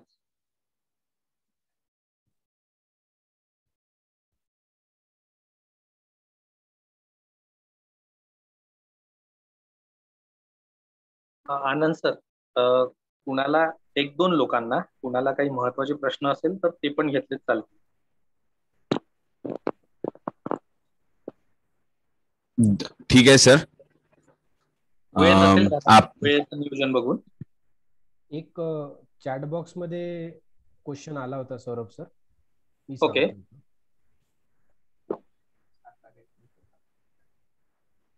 स्वराज्याच्या दोन गाद्या कशा निर्माण झाल्या त्याबद्दल थोडी माहिती सांगा. सातारा आणि कोल्हापूर.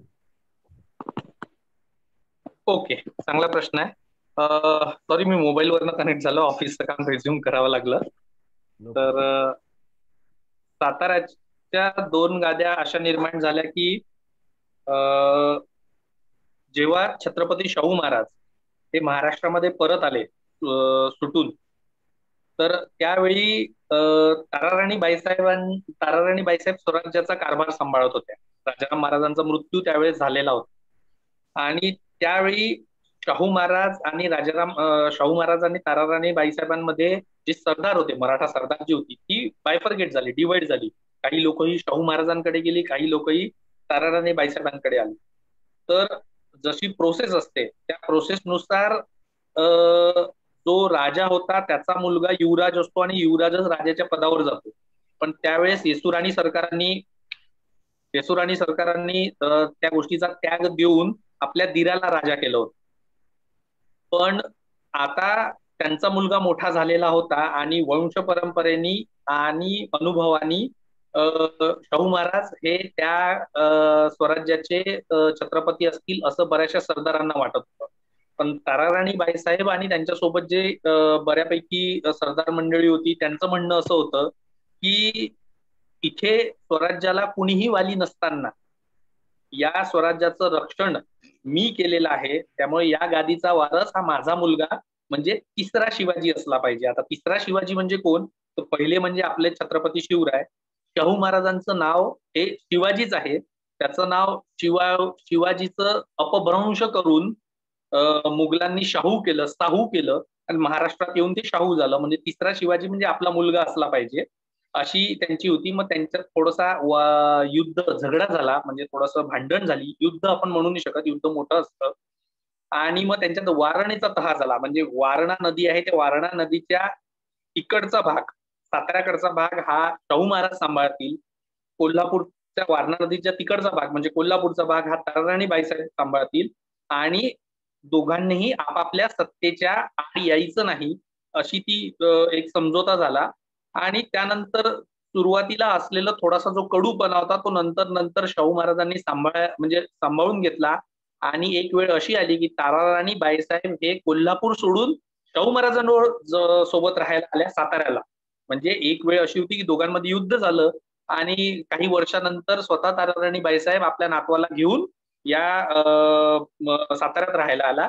असा त्याच्या अशा त्या दोन गाद्या निर्माण झाल्या. मोठी गादी ही साताऱ्याची लहान गादी कोल्हापूर ठीक आहे सर थँक्यू सर मुलांना कळालेलंच असेल ज्यांनी कोणी हा प्रश्न विचारला असेल. नेक्स्ट क्वेश्चन आहे सर थोरले संभाजी महाराज हे कसे मरण पावले? थोरले संभाजी महाराज हे युद्ध झालं होतं औरंगजेबाचं आणि आदिलशाहीचं. आदिलशाहीचं त्यावेळेस आदिलशाहीमध्ये शहाजी महाराजांकडून जे प्रति शहाजी महाराज हे आदिलशाहीचं प्रतिनिधित्व करत होते. त्यांच्यासोबत अफजल खान पण होता. जो अफजल खान शहाजी महाराजांनी फाडला. तर औरंगजेबाशी युद्ध करताना शहाजी महाराजांची सेना आणि अफजल खानाची सैन्यांनी एकत्रितपणे औरंगजेबावर हमला करणं अपेक्षित होतं. पण अफजल खान धोक्याने मागे राहिला. त्यांनी थोरल्या संभाजी राजांना पुढे जाऊ दिलं त्या युद्धात पुढे जाऊ दिलं आणि त्याच्यामुळे औरंगजेबाच्या सैन्याकडून म्हणजे मुघलांकडून थोरले संभाजी राजे मारले गेले. हा एक आपल्याच सैन्याकडून आपल्याच लोकांकडून झालेला धोका होता. म्हणजे काय म्हणतात त्याला केलेला धोका होता आणि तिच्यात थोरले संभाजीराजे कर्नाटकमध्ये मारल्या गेले. नेक्स्ट क्वेश्चन आहे सर असं म्हटलं जातं की पेशवे बाजीराव यांचा मृत्यू हा मराठ्यांचा पानिपतचा युद्ध हरल्यापेक्षा पण धक्कादायक होता.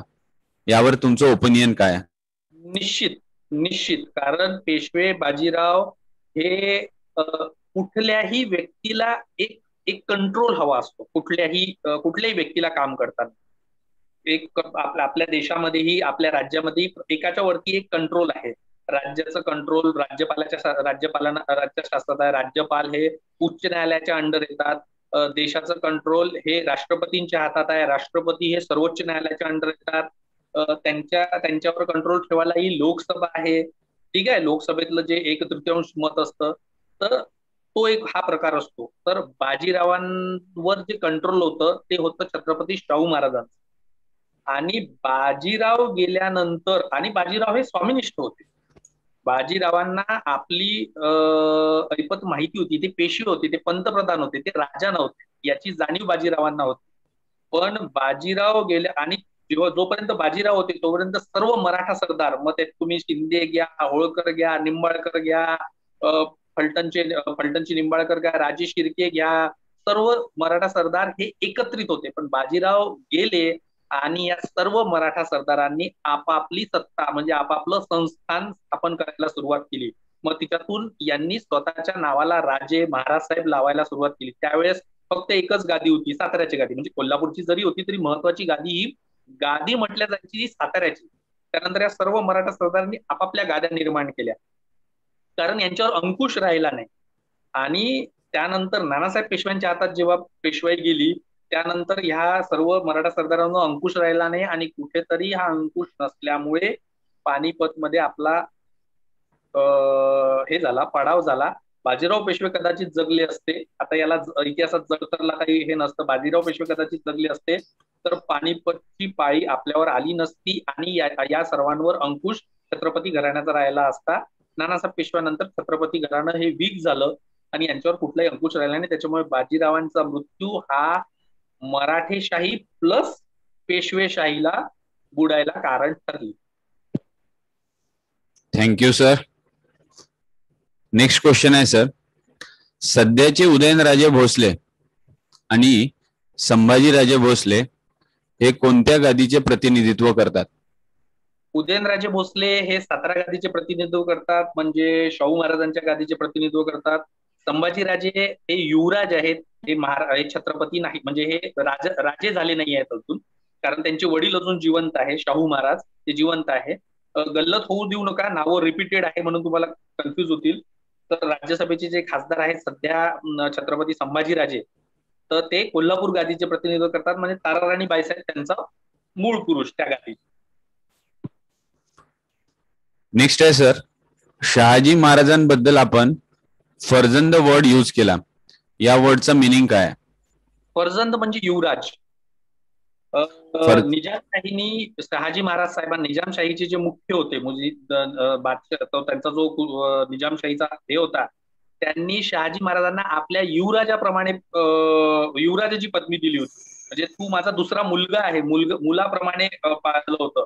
आणि जेव्हा निजामशाहीचा अस्त झाला तेव्हा मूर्तजा जो होतो सर्वात लहान लहान निजाम जो होता त्या निजामाला मांडीवर येऊन म्हणजे निजामशाही बुडू दिली नाही. परत ती चालली स्वामी निष्ठा. निजामशाही बुडू दिली नाही. आणि पेमगिरी पर्वत जो आहे पेमगिरी पर्वत पेमगिरीच्या किल्ल्यावर निजामाला मांडीवर बसून जी निजामशाही चालवली त्यावेळीची निजामशाही स्वातंत्र्य उत्तर काळातली स्वातंत्र्य पूर्व काळातली निजामशाही वेगळी. तो थोडासा सखोल अभ्यास आहे. तर शहाजी महाराजांनी मांडीवर बसून छोट्या निजामाला घेऊन ते राज्यकारभार चालवला. त्याच्यामुळे त्यांच्या नावासमोर ही पदवी लावल्या जाते फर्जन. फर्जन म्हणजे युवराज. Okay thank you sir next आहे सर रायगडा रायगडावरील शिवाजी महाराजांच्या समाधीजवळील कुत्र्याच्या समाधीची सत्यता काय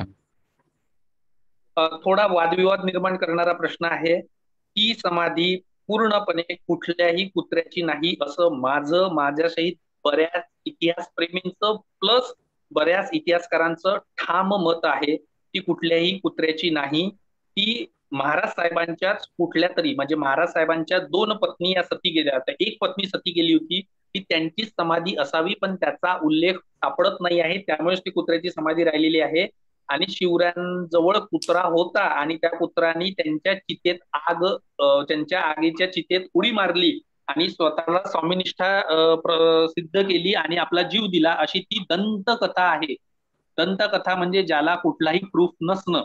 तर त्या कुत्र्याच्या समाधीला कुठलाही प्रूफ नाही पण ती समाधी बांधल्या गेली अलीकडच्या काळात. म्हणजे अलीकडच्या तीस ते चाळीस वर्षाच्या काळात त्याला कुठलाही ऐतिहासिक आधार नाही पण ती समाधी जर पाडली तर महाराष्ट्रात बऱ्यापैकी वादविवाद होईल म्हणून ती समाधी जोपर्यंत त्याच्यावर म्हणजे त्या कुत्र्या ज्याच्यावर काही कागदपत्र मिळत नाही ती त्याची भेट घेऊ देत नाही. आता आता जर तुम्ही गेले रायगडावर तर त्याच्याजवळ जाऊ देत नाही. तिथे पोलीस असतो पोलिसाचा पहारा असतो तर ती समाधी माझं वैयक्तिक मतासोबत माझं सार्वजनिक मती हेच आहे की ती समाधी कुठल्याही कुत्र्याची नाही. तो पूर्णपणे खोटा इतिहास आपल्या गळी उतरवला गेलेला आहे. नेक्स्ट आहे सर कोंडाजीचं निधन जंजिऱ्यावर कसे झाले?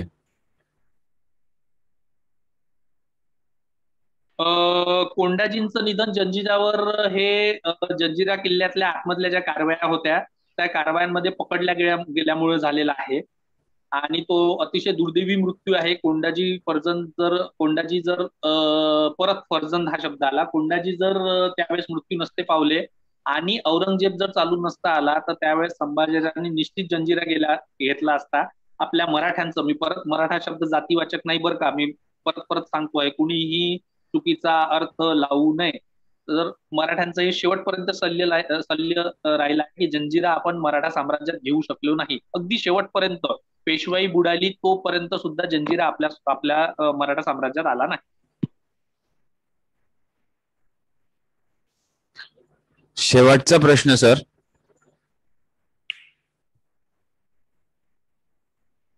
राजश्री शाहू महाराज यांची समाजाप्रती योगदान काय?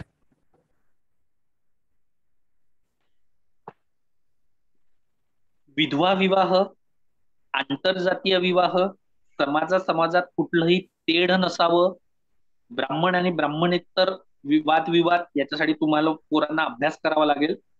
मी परत सांगतोय जातीवाचक जाऊ नका. माझ्या शब्दांवर जातीवाचक जाऊ नका. हे थोडासा इतिहासाचा अभ्यास केला तर ह्या गोष्टी कळतील. म्हणजे मराठा म्हटलं की मराठाचा ब्राह्मण म्हटलं की ब्राह्मण जात नाही. याचे इतिहासातले संदर्भ वेगळे आहेत. तर अभ्यासलं तर तुम्हाला कळतील. त्यानंतर आरक्षण जे समाजातल्या खालच्या जे कमी शिकलेले आहेत जे मुख्य स्त्रोत मध्ये नाही आहेत त्याच्यानंतर शेतीविषयक उपक्रम अशा एक न अनेक समाजाला अपेक्षित असणारे निर्णय हे राजर्षी शाहू महाराजांनी घेतलेले आहे. ज्या वेळेस ज्या वेळेस मी फार फार जबाबदारीने वाक्य बोलतो आहे मराठा सरदारांविषयी पण हे टीका म्हणू शकता ज्या वेळेस देशातले दुसरे राजघराणे हे स्वतःचे महल बांधण्यात आणि स्वतःच्या प्रॉपर्टी निर्माण करण्यात व्यस्त होते. त्यावेळेस राजश्री शाहू महाराज हे आपल्या पैशांमधून धरणं रस्ते समाजात एक निर एक एकोपा निर्माण करायला झटत होते. त्याच्यामुळे राजश्री शाहू महाराजांचं भरपूर मोठं कर्तृत्व आहे. जर कुणाला राजश्री शाहू महाराज वाचत वाचायचे असतील तर मला पर्सनलमध्ये मेसेज करा. अप्रतिम पुस्तकं त्यांची आहेत आणि राजश्री शाहू महाराजांचा डंका हा महाराष्ट्रात नव्हे देशात नव्हे देशाच्या बाहेरही ब्रिटिशांकडे गाजवला जायचा आणि महाराष्ट्रातला सर्वात पहिला छत्रपतींचा पुतळा हा पुण्यामध्ये जो उभारला गेला आहे तो राजश्री शाहू महाराजांनी उभा केलेला थँक्यू ऑल ऑफ यू तर आजचा जो प्रोग्राम आहे हा आपण पूर्णपणे कंप्लीट केलेले काही लोकांचे जे क्वेश्चन्स आहेत ते सौरभ मोडक हे त्यांचं नाव आहे. तुम्ही आमच्याकडून त्यांचा नंबर घेऊ शकता. त्यांना पर्सनली काही प्रश्न विचारू शकतात पण आपल्याला वेळेचा भान ठेवावं लागेल. तर मी सौरभ सरांचे खूप खूप आभार मानतो की त्यांनी अतिशय उत्तम प्रकारे आपल्याला खूप चांगली माहिती दिली. आणि मी Akash Wankhede अकॅडमीकडून Akash sir Rishikesh sir Rahul Jadhav sir यांचे सुद्धा आभार मानतो की तुम्ही अशा प्रकारचे प्रोग्राम्स मुलांसाठी अरेंज करणं सुरू केलेले आहे जे त्यांच्या भविष्यासाठी खूप चांगले राहतील. आणि मी आनंद दरने आजचा प्रोग्राम इथेच आपण थांबवू. पण असे कितीतरी प्रोग्राम आपण घेणार आहोत असं तुम्हाला सांगून शुभरात्री म्हणतो. Thank you all of you